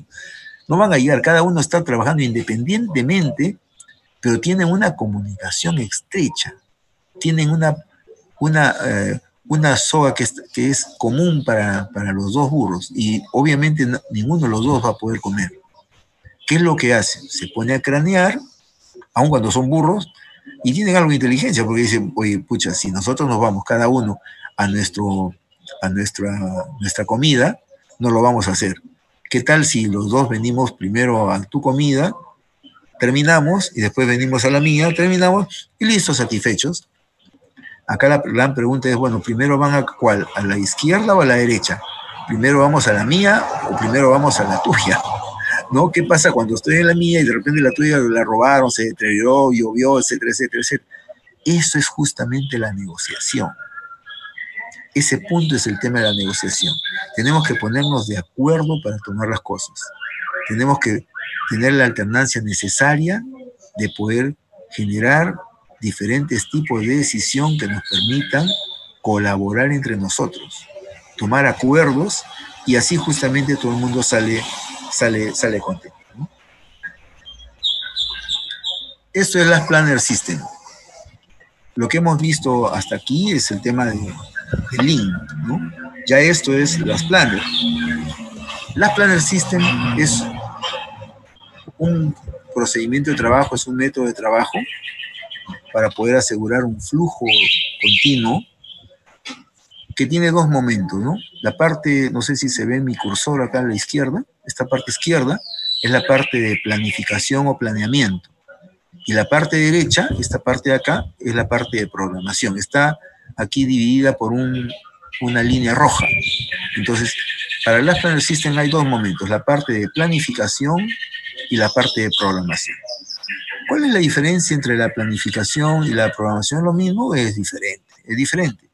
En la planificación nosotros determinamos el qué es lo que se va a hacer.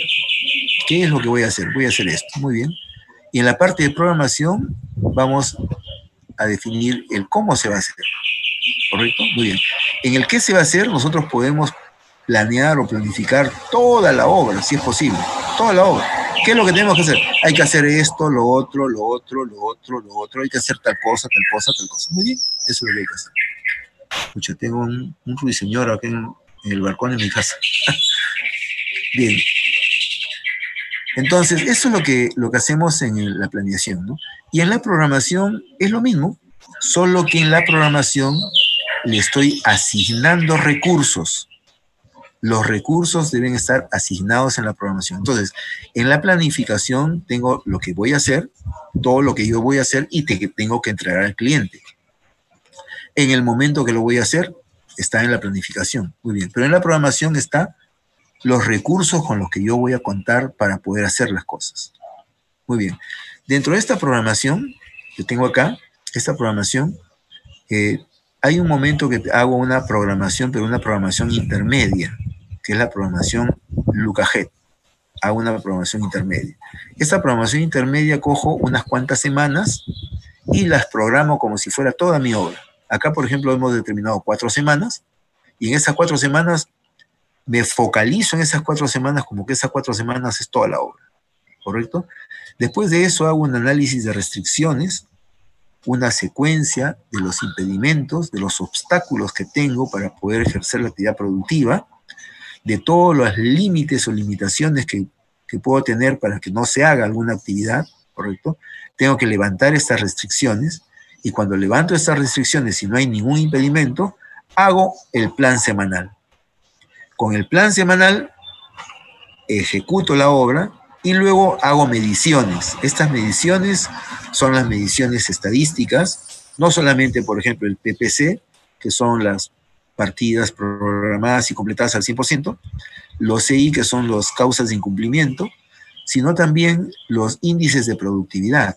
Calculo los índices de productividad de las principales actividades, de las principales tareas o de las principales partidas, dependiendo del nivel de exhaustividad que tengo en el análisis de la actividad productiva. ¿no? También calculo, por ejemplo, la desviación estándar, calculo la desviación estándar. También calculo el índice o ratios o KPIs de costos, también calculo los costos. Y hago la relación de KPIs entre los costos y la actividad productiva, con el propósito de definir cuál es la velocidad de avance. Estas mediciones las hago aquí, al final. Luego que termino estas mediciones, voy al planeamiento, al, plan máster o plan maestro, cojo otra vez otro grupo de, de semanas y las programo. Hago nuevamente el y así cíclicamente. Este sistema es un sistema cíclico, cíclico, cíclico, cíclico. ¿Correcto? Esa es más o menos la idea de las planes System. Tenemos una, un webinar que está programado para el miércoles a las 6 de la tarde, en donde vamos a explicar a detalle cómo es el, el Last Planner System. Sin embargo, la, la, el webinar se, titula Introducción a Last Planner System, porque realmente es bastante amplio. Hay mucho que decir ahí en Last Planner System, ¿no? Eh, pero vamos a tratar de hacer una apretada síntesis eh, para poder este, eh, ver que tengan una idea bastante clara de lo que se trata. De lo que se trata la Planner System es determinar esto, ¿no? ¿Qué es lo que se debe hacer? Lo que se debe hacer. Esto es lo que se debe hacer. ¿Correcto? Eso es lo que se debe hacer. Muy bien. Esto es el plan general. El plan maestro. Esto es lo que se puede hacer. Lo que se puede hacer viene a ser el LucaJet. ¿Correcto? El LucaJet. Esa es la, planifica, es la programación intermedia.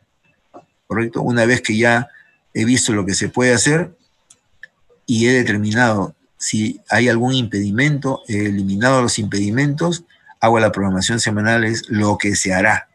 Y esta es la programación semana. Una vez que se hace la programación semana, se supone que en la programación semana tengo actividades que no tienen ningún impedimento y los voy a hacer, ¿correcto? Y luego veo lo que se hizo. Y en lo que se hizo, determino mediciones. Hago todas las mediciones en la parte de acá. Esto en la práctica viene a ser el esquema del Last Planner System. Entonces tenemos tres niveles de planificación.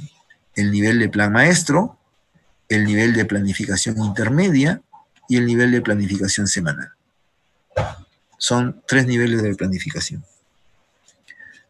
Entonces tenemos el programa maestro, la planificación por fases, eso es lo que se debería hacer, la planificación intermedia, eso es lo que se puede hacer, la planificación semanal, eso es lo que se hará, y el aprendizaje, que es la medición de todos los porcentajes, estadísticas, etcétera, que es lo que se hizo. Ese es un nivel de aprendizaje.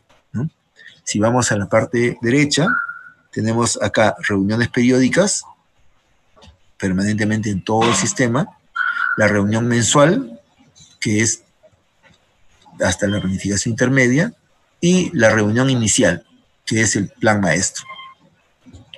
Que esa es una planificación pool, que es lo que vamos a hablar el día miércoles. Este sistema de trabajo más o menos es el sistema Las Planas, que ya es la metodología de la herramienta, ¿no? Entonces, el nivel de involucramiento, acá estamos el antes, en el antes estamos aquí, ese es el nivel de involucramiento. Mira, el arquitecto con el cliente desde el prediseño.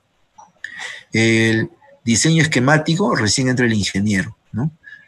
Y aquí trabajan los tres al desarrollo del diseño, los documentos de construcción, para, para todo lo que son permisos, este, etcétera, autorizaciones y todo, que es el quién, quién lo va a hacer, ahí recién entra el contratista acá. Y ya en la construcción, recién entra el subcontratista en, en la construcción. Pero fíjate, ese es el modelo tradicional. Fíjate cómo es el modelo integrado. Entonces, el modelo integrado, el contratista, el cliente, el arquitecto y el ingeniero entran desde la conceptualización. ¿Correcto? Desde la conceptualización. En los criterios de diseño, ¿ya? ahí entra el subcontratista. Y desde ahí todos en conjunto, colaborativamente, van acompañados hasta em, empezar la construcción. Todos. O sea, van hasta el final. Entonces, el qué, quién, cómo es con mucha anticipación. Por eso se dice que el involucramiento tiene que ser desde las etapas tempranas de un proyecto. Y una etapa temprana es desde cuando tenemos los criterios de diseño o la conceptualización de un proyecto. La programación tradicional tiene estos conceptos y la programación, las Planner System, tiene estos, estos conceptos, ¿no? Estos conceptos. Eh, yo diría que una de las cosas importantes es esta, dice, finalización difícil de rastrear, ¿no? Mientras que las Planner System, la finalización es fácil de rastrear. Es, decir, el nivel de trazabilidad que hay con las Planner System es inherente al método mismo. Eh, suposiciones no acordadas en una programación tradicional mientras que en Glass Planner System tenemos acuerdos formalizados, diría yo. Acuerdos formalizados. ¿Por qué?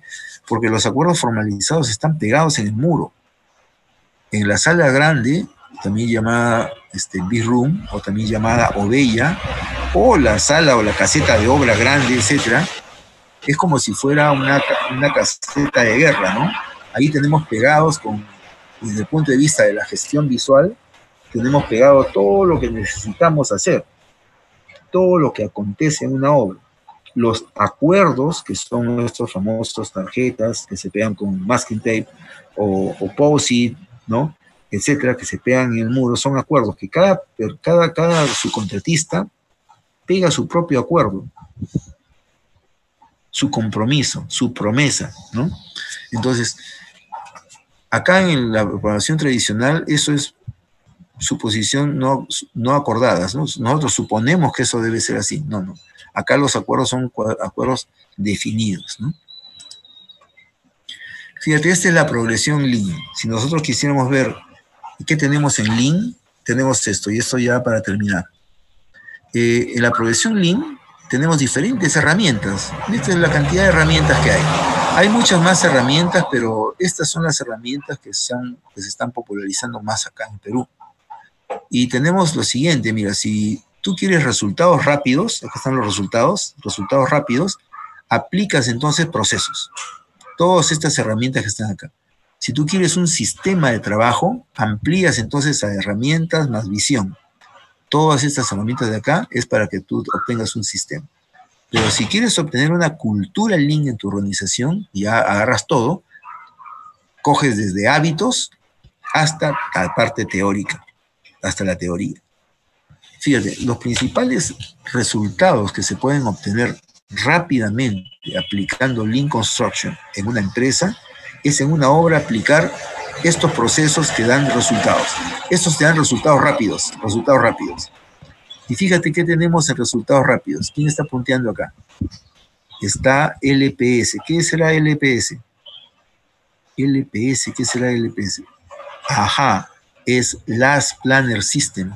Last Planner System. Esa es la razón por la cual se ha popularizado tanto esta herramienta y la gente piensa que esto es Lean. Pero esto no es Lean.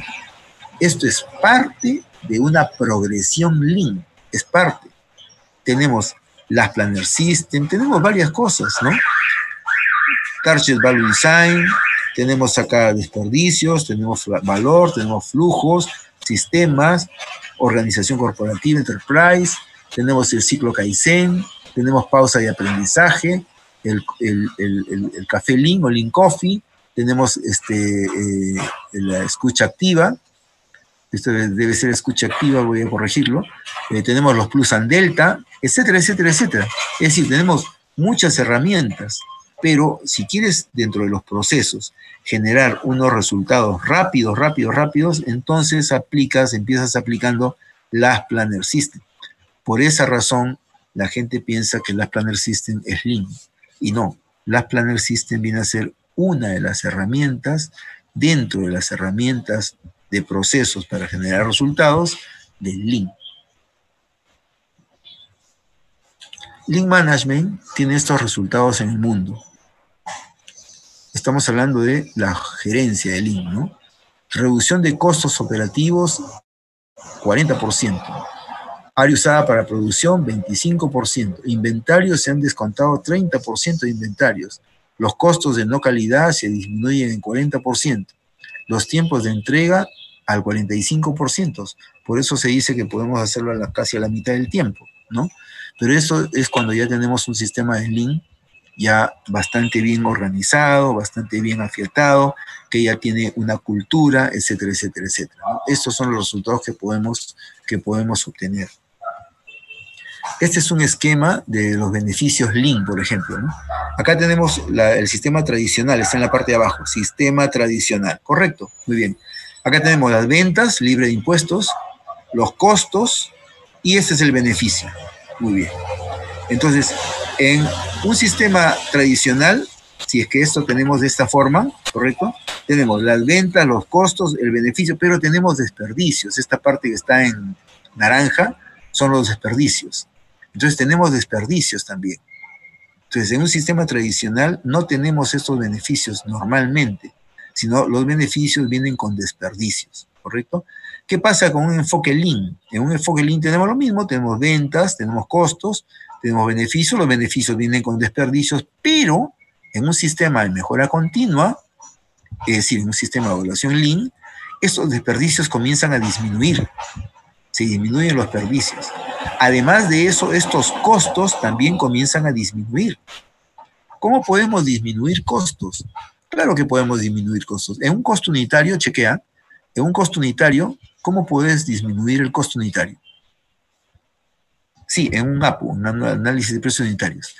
Si incrementas el rendimiento o si incrementas la productividad, disminuye los costos, correcto. Entonces, en un sistema de mejoramiento continuo, vamos a incrementarle, vamos a imprimirle mejoras en la productividad al incrementarle mejoras en la productividad, vamos a disminuir los costos. Entonces, este beneficio se hace cada vez más grande por dos cosas fundamentalmente. Porque disminuyo desperdicios y porque incremento productividad. Y los beneficios se van a incrementar. Se van a incrementar, incrementar, incrementar, incrementar hasta tener un elemento de mejora. Este verde es mejora, este elemento de mejora. Ese elemento de mejora me va a servir para dos cosas. Uno, o aumento el beneficio, o hago una reinversión, o reduzco el precio de venta, o hago una formación, digamos, mejor estructurada, o genero bonificaciones. bonificaciones a mi gente con esta, con esta mejora, ¿no? O sabe Dios un montón, o hago una, o, reinvierto en, activos, en bienes de capital, distribuyo bonos a toda la gente, etcétera. Tengo que con esta mejora hacer muchas cosas. ¿Y qué pasa con la rentabilidad? Checking. La forma tradicional, tengo acá ventas, costos, beneficios con desperdicios. Muy bien. Y acá tenemos el enfoque Lean, ventas, costos, beneficios con desperdicios y mejoras. Pero ¿qué sucede con la rentabilidad? Checking. La rentabilidad es la siguiente. Rentabilidad es beneficio, en la parte tradicional, que es esto, entre costos, que es este de acá, costo. ¿Correcto?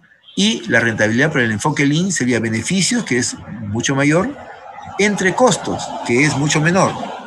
Siendo que el enfoque Lean tiene una rentabilidad mayor que la rentabilidad del enfoque tradicional. Obviamente, por ese sistema de mejoramiento continuo, con el propósito de poder generar mayores beneficios en el tiempo.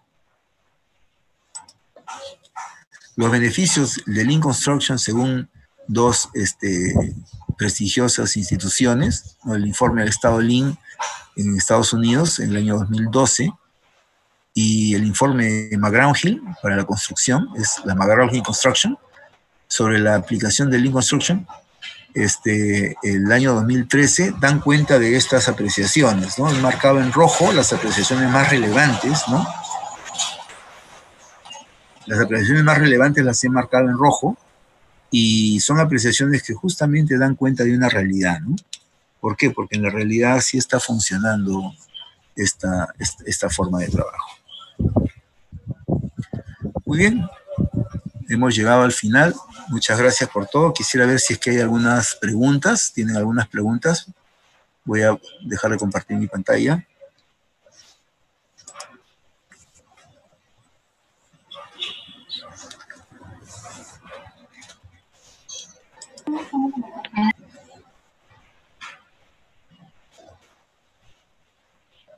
Voy a ver acá si hay algunas preguntas.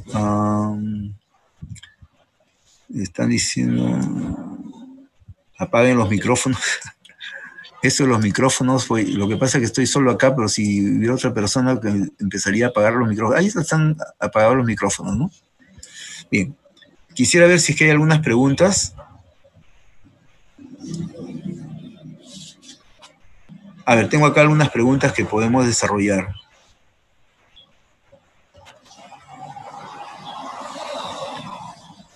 Consulta dice, ¿hasta qué hora durará este webinar? Bueno, este, estamos ahorita a la 1 y 13, de repente 15 minutos más, no sé, y terminamos, ¿no?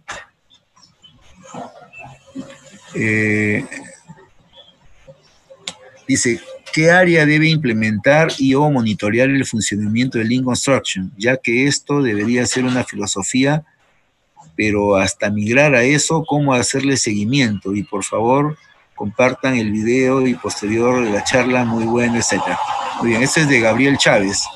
¿Qué área debe implementarse? Muy bien, Gabriel. Muy buena pregunta. Mira, este, eh, en varias oportunidades, porque han sido varias, eh, me he acercado a algunos empresarios de la construcción para ver cómo poder implementar este asunto, ¿no? Entonces, este, en otras me han llamado y he ido, hemos hecho el trabajo, todo, y no hay continuidad. Eh, no, no, no se presenta continuidad normalmente porque hay algunos empresarios que no creen en este asunto, ¿no? Una de las expresiones, por ejemplo, eh, recurrentes son, eh, oye, hasta acá me ha ido bien, ¿por qué tendría que cambiar? ¿Qué mejor tengo en esto? otra vez, este, oye, Carlos, este, todo está bonito, tu presentación está bien, excelente, pero, pero mira, tengo dos preguntas. Eh, una, ¿cuánto me va a costar esto? Y dos, ¿en cuánto tiempo tengo resultados? Y mi respuesta fue, mira, sobre la primera pregunta, ¿cuánto te va a costar? La, pregunta, la respuesta es no sé. Y sobre la segunda pregunta, ¿cuánto tiempo va a demorar? La respuesta es no sé. Porque realmente no sé, esta es una creencia. Es una creencia, es una forma como tienes que actuar. Entonces, no es algo imperativo, ¿no? Esa es la razón por la cual tenemos, por ejemplo, que en el Estado se están haciendo ya toda una tratativa, y vamos a ver en la tarde con la presentación del ingeniero José Luis Rodríguez, que seguro nos va a comentar cómo el Estado está haciendo para poder este, implementar todos los proyectos con BIM, ¿no? Eh, porque BIM tiene procedimientos de trabajo, tiene protocolos de trabajo, tiene sistemas de eh, bases de datos que tienen que organizarse y estructurarse fundamentalmente, ¿no? No es un dibujo que vas a hacer, no es un plano que vas a hacer, es el manejo de una base de datos con el propósito de poder generar una mejor operatividad cuando la infraestructura está construida, ¿no? Es, es una cosa diferente, ¿no? BIM no, no, no es un software, ¿no? Eh, pero sin embargo, es un procedimiento, ¿no, sé, ¿no es cierto?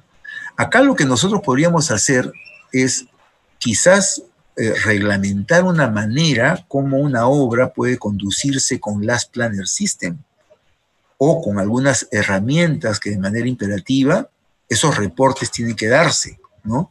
El manejo, por ejemplo, quizás de algunos ratios que se tienen que entregar, ¿no? Probablemente. Pero no podemos decir, por ejemplo, que piensen de otra manera. O sea, voy a sacar una ley para que pienses así. Eso no es. O sea, no puede ser eso. Voy a sacar una norma, ahorita, mira, sabes que todo el mundo trabaja con Lean. El que no piense con Lean no tiene obra pública, ¿está bien? Así no funciona. Porque esas son creencias. Eso tiene que ser una, una, forma de conducta. ¿Quién te va a, decir que respetes a la gente? Si estás viendo que el día de ayer nomás han habido algo así como casi mil detenidos. La gente está saliendo, tenemos un, coronavirus que está azotándonos por ahí, de repente, no sé, está, calado, no sé. Pero la cosa es que tienes que quedarte en tu casa y la gente sale. ¿Por qué? Porque no le interesa mucho, porque no sabe, porque por esas cosas, estas son creencias. No podemos imperativamente este, eh, sacar una ley para que tú creas esto, ¿no? Pero ¿cómo lo puedes implementar? Porque esa, es una excelente pregunta. ¿Cómo puedes empezar a implementar? Oye, con el ejemplo. Con el ejemplo. Así tiene que ser. Entonces, eh, si es que eso es así, tú puedes empezar el trabajo tú mismo. Si tú eres líder de una obra, en tu obra trabajas así. En tu obra trabajan de esa manera y aplicas las herramientas Lean, aplicas los principios Lean, aplicas así poco a poco, poco a poco, poco a poco, poco a poco. ¿Cómo se ha hecho en otros países? Poco a poco. ¿Cómo te comes un elefante? ¿Te puedes comer un elefante? Claro que sí. ¿Cómo? Poco a poco, mordisco tras mordisco, primero uno, después otro, después otro, y al final de un año te lo comiste. Así funciona, es poco a poco, poco a poco, así es. Entonces, ese es un, es un sistema de, y ahora en Semana Santa que estamos tratando de evangelizar a la gente, eh, yo lo he mencionado como evangelizando, estamos evangelizando. ¿Por qué? Porque tenemos que evangelizar a la gente en Lean. Esa es la idea. Salimos de pobres, así no hay coimas.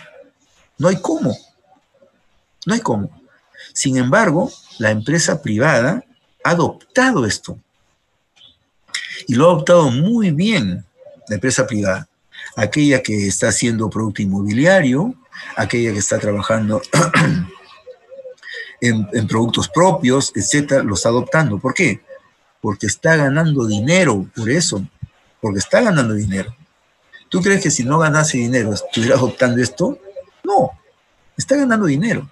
Acuérdate, 30% de todo lo que hacemos en la obra, el tiempo que tenemos, lo tiramos al tacho. Y eso es dinero. Obviamente que eso es dinero. Todos esos desperdicios pueden involucrarse en metrados. Pueden involucrarse. Hice una pequeña medición en pocas obras públicas, ya hace un tiempo, para ver cuánto más o menos es esto. Bueno, la medición estaba dudando porque me salía encima del 50%, 56%. En una obra pública, 56% promedio en obras públicas. En una salió 64, una cosa increíble. Claro, estaba en la sierra, estaba lejos, eh, unos desperdicios increíbles, pero así funciona, así es. Y después no alcanzó, ajustate con, con lo que tienes, no te voy a dar más. ¿Chocas con qué? Con el alcance. ¿Con qué más? Con la calidad. ¿Con qué más? Con las personas. Y chocas con las personas. Entonces, el tema va por ahí. ¿Dónde comienzas a implementar eso? Primero hay que implementarlo acá, en tu mente. Ahí tienes que empezar a implementar. Lean Construction no empieza en la obra, empieza en el cerebro de la gente. Ahí empieza. Y el primero que tiene que empezar es el líder, que eres tú. Tú tienes que empezar primero. ¿Crees en esto? Anda probándolo. Anda probando una cosa, otra cosa, otra cosa, otra cosa, otra cosa, otra cosa, otra cosa. Anda probando. No creas lo que te dicen. Prueba si esto funciona.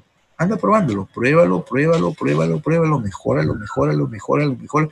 Y vas a comenzar a adoptar los principios uno por uno, uno por uno, uno por uno, uno por uno. Aplicar las herramientas una a una, una a una. No te quedes callado. Pregunta, pregúntame, yo te voy a responder. De repente me puedo demorar mañana, pasado, pero te respondo siempre. Entonces, preguntan a los que saben más, a los que tienen experiencia, leen, tenemos más información ya no solo está en inglés, está en español. Tenemos muchos videos. Después de esto, esto que nos ha pasado, nos está, mira, yo he contado hasta ayer 67, 68 videos. 68 videos tenemos ya. Todo que es solamente link. Sin BIM, solamente link. En español. Claro, no estamos hablando solamente de Perú. Ya tenemos ahí colgados en, en la red. Más este, 68. 68. En estos días, ¿cuántos días estamos contando? Siete días, en estos últimos siete días. Entonces, ¿tienes información? Tienes información. Tienes información. Comienza a aplicar esto. Nútrete primero de conocimiento para que te puedas tener una buena experiencia. Y eso te va a dar un mejor sentido común. Esa es la actitud. Otra pregunta por acá, ya para irnos a almorzar. Dice, pienso que el seguimiento, dice Diana Sánchez, dice, pienso que el seguimiento debería hacerlo la oficina técnica y la implementación debe partir de la parte que dirige el proyecto y de la empresa. No, no, no, dejas de tener razón, Diana. Eh, está bien. Mientras el líder de una empresa se involucra, porque no, no solamente toma la decisión, ya háganlo, no, se tienen que involucrar. Se tienen que involucrar. ¿Por qué? Porque es un equipo. Y como equipo tiene que tener un rol ¿Cuál es el rol que va a tener el gerente de una empresa, el gerente de una, obra, el ingeniero residente? Yo me he chocado una vez con una, empresa, bueno, en una obra, que eh, el ingeniero residente no creía en esto. Pero su planner, sí. Su ingeniero de producción sí, sí creía en eso. El ingeniero residente no creía en. Su planner sí. ¿Qué pasó? ¿Se pudo hacer esto? Claro que se pudo hacer. Por supuesto que sí. El Lean el Lean Leader es la persona que lidera todos los procesos Lean. Los lidera. No necesariamente tiene que ser el jefe, no necesariamente, tiene que ser el líder. El líder. Puede ser un líder sin autoridad, por supuesto que sí. Un líder sin autoridad, pero lidera. No es el jefe. El jefe es el residente. Este es el líder. Pero ¿cuál es la diferencia entre el jefe y el líder? El jefe manda. El líder enseña. El jefe asusta. El líder te da confianza. El jefe grita, habla. El líder escucha. El jefe, el líder es la persona que tiene la influencia positiva dentro de, todo el equipo. Quien influye positivamente de manera categórica en el equipo, ese es el líder. Ese es el líder. En una oportunidad, en, una obra, había un este, ah, maestro general de obra, ya no trabajamos con maestros de obra, sino con capataces directamente, pero había un maestro general de obra, y sin embargo tenía una persona que cuando el maestro general de obra decía algo, todo el mundo lo miraba a esa persona, para ver cómo reaccionaba. el maestro decía, y tal cosa, que no sé cuánto por acá, decía todo, y todo el mundo lo miraba al otro, para ver cómo reaccionaba. Entonces yo me puse a, y me detuve, regresé, me puse agazapadamente a escuchar esa conversación que tenían, y todo el mundo lo miraba a esa persona. Esa persona era el líder, líder sin autoridad, influenciaba sobre las demás personas. Y paradójicamente, esa persona muy diferente al jefe, muy diferente, muy distinto, muy distinto. Escuchaba a la gente, aconsejaba a la gente, inclusive de sus cuestiones personales, inclusive, se acercaba, hablaba por los demás. Una cosa muy interesante. Sin embargo, ese era el líder. Esa la persona que ejercía una voluntad de cambio, pero para todos. Otra pregunta por acá dice,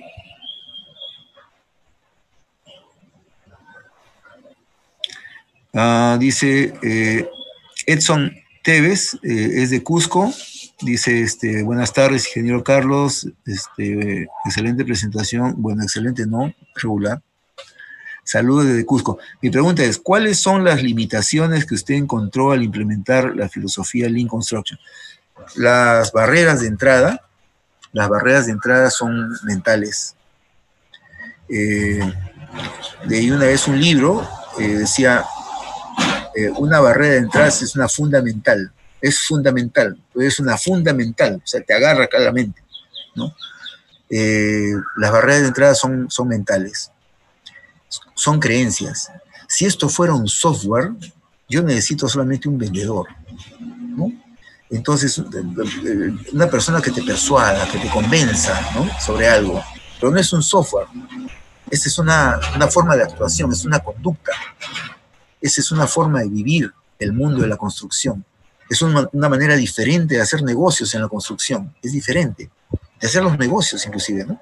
Entonces, ¿cuáles son las barreras de entrada? Las barreras de entrada son fundamentales. Sí, es una fundamental. Es una fundamental las personas no creen en esto hasta cuando le dan resultados. Entonces, y aquí viene justamente la parte, la parte eh, anecdótica, ¿no? ¿Qué resultados? Las personas no cambian hasta cuando tienen resultados. Muy bien.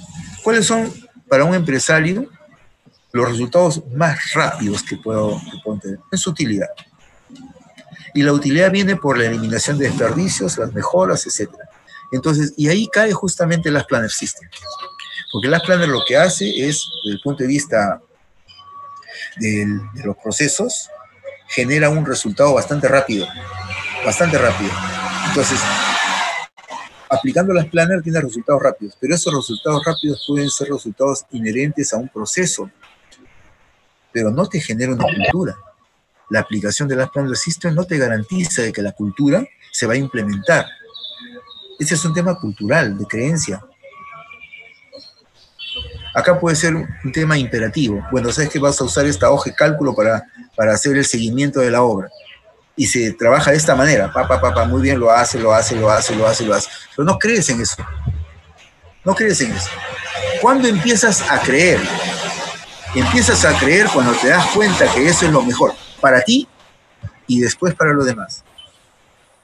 Así empiezas, lamentablemente. Nadie está pensando que es lo mejor para todos y como consecuencia lo mejor para no, así no funciona. Es para mí.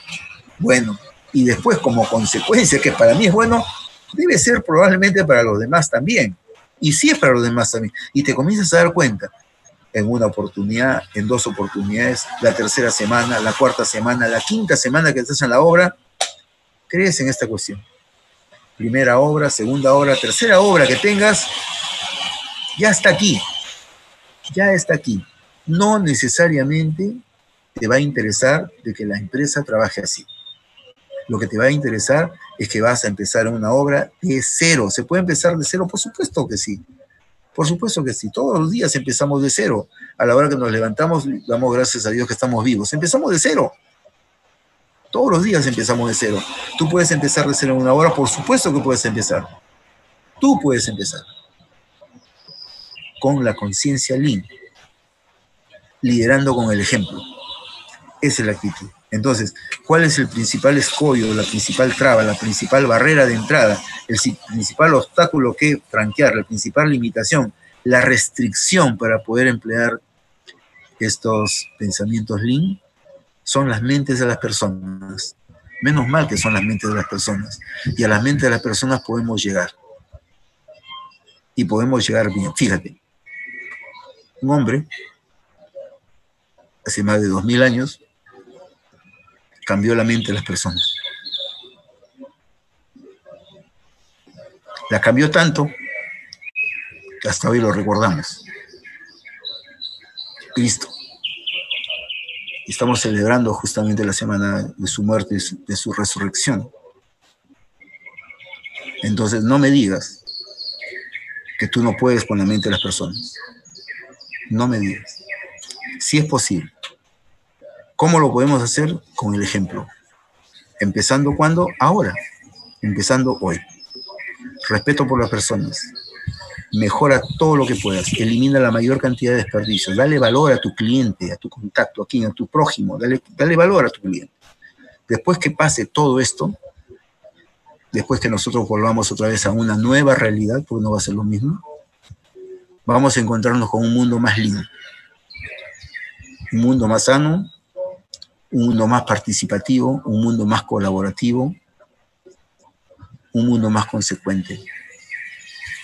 Y en ese momento quizás vamos a tener mucho más facilidad para poder hacer o ejercer todos estos cambios en la industria de la construcción y con eso mejorar la competitividad y salir de pobres. Esa es la idea fundamental. No sé si hay alguna otra pregunta.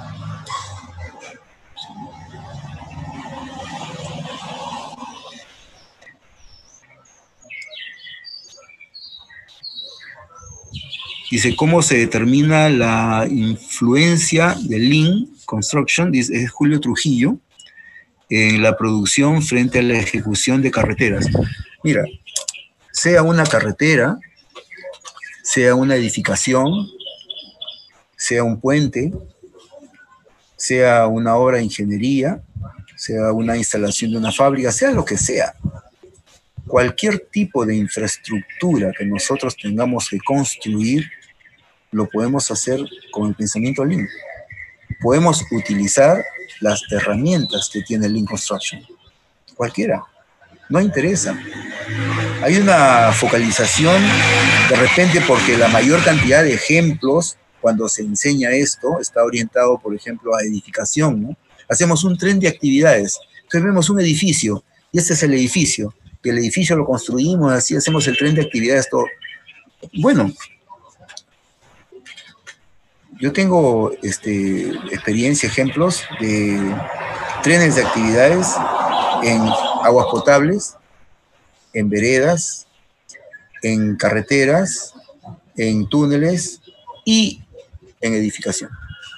Pero lo que más fácil es para poder enseñar esto es edificación, porque edificación es una de las formas de construcción más sencillas que puede haber.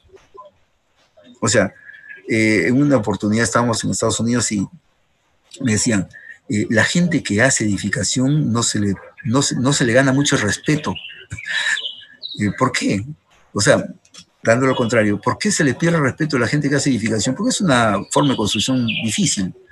el señor que ves allá es un ingeniero y él hace túneles y mira el respeto que tiene. me decía, pero, somos ingenieros civiles todos. ¿Cuál es, ¿Cuál es el problema, no?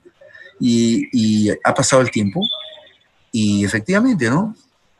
Este, eh, hacer edificación es una forma muy sencilla de construir. Hay formas de construcción que son mucho más difíciles mucho más riesgosas, ¿no? Donde tú necesitas justamente de mucho conocimiento y experiencia para hacer ese proceso. Sin embargo, puedes aplicar el Lean también.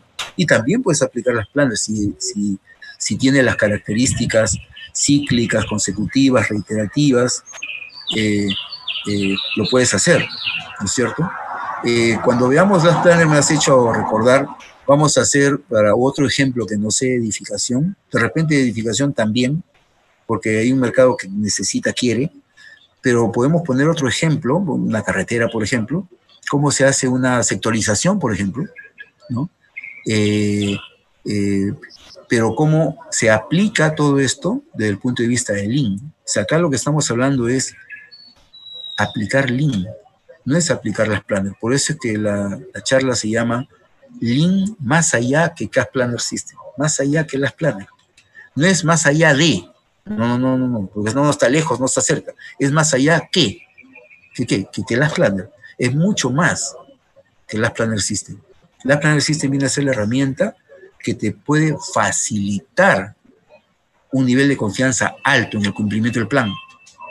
Sin embargo, Lean es la filosofía, la idea, las creencias de poder generar todos los sistemas de mejoramiento continuo para que puedas lograr tus objetivos y el cumplimiento de tus metas conforme tú lo has planificado, que es diferente. Es una conducta diferente, es una conducta distinta. Uno es una conducta, el otro es una herramienta. Entonces, ¿se puede hacer para una carretera? Por supuesto que sí. Se puede hacer para cualquier tipo de obra. En cualquier tipo de obra tienes el mismo pensamiento. No es que tú dices, voy a hacer una carretera, hago lin de carreteras. Voy a hacer una edificación, lin de edificación. No, ahora es un puente. Pucha, estoy con lin de, de, de edificación. Me cambio lin de puentes, lin de puente. No, así no funciona. Lin es una sola idea. Tú no eres, vamos a suponer, católico. Tú no eres católico y eres católico con tus trabajadores tienes otro catolicismo con tu familia, tienes otro catolicismo con tus amigos, tienes otro catolicismo con tus vecinos. No, señor, tú eres católico. ¿Dónde lo tienes? Acá y acá. Ahí está. Entonces tú tienes el pensamiento Lin. ¿Dónde lo tienes? Acá y acá. Ahí lo tienes. Es igual. Entonces, sea la obra que sea, el pensamiento Lin prevalece porque está en tu mente y en tu corazón. Bien, les agradezco mucho por su tiempo, por haberme escuchado. Eh, vamos a tener en la tarde la presentación a las 6 de la tarde del ingeniero José Luis Rodríguez Corro, eh, a las 6 de la tarde, y a las 7 este, de la noche el ingeniero Vizcardo. Voy a pasar este, los correos de enlace de las claves de acceso en una hora o dos horas más o menos para que puedan entrar a esa sesión. Eh, solamente es eh, un nivel de acceso para entrar a las 6 de la tarde y de ahí hasta terminar. No hay dos, dos sesiones, sino una sola sesión. Muy bien, si no hay ninguna otra pregunta, está, este, eh, se está grabando este video con el propósito de poder distribuirlo luego. Correcto.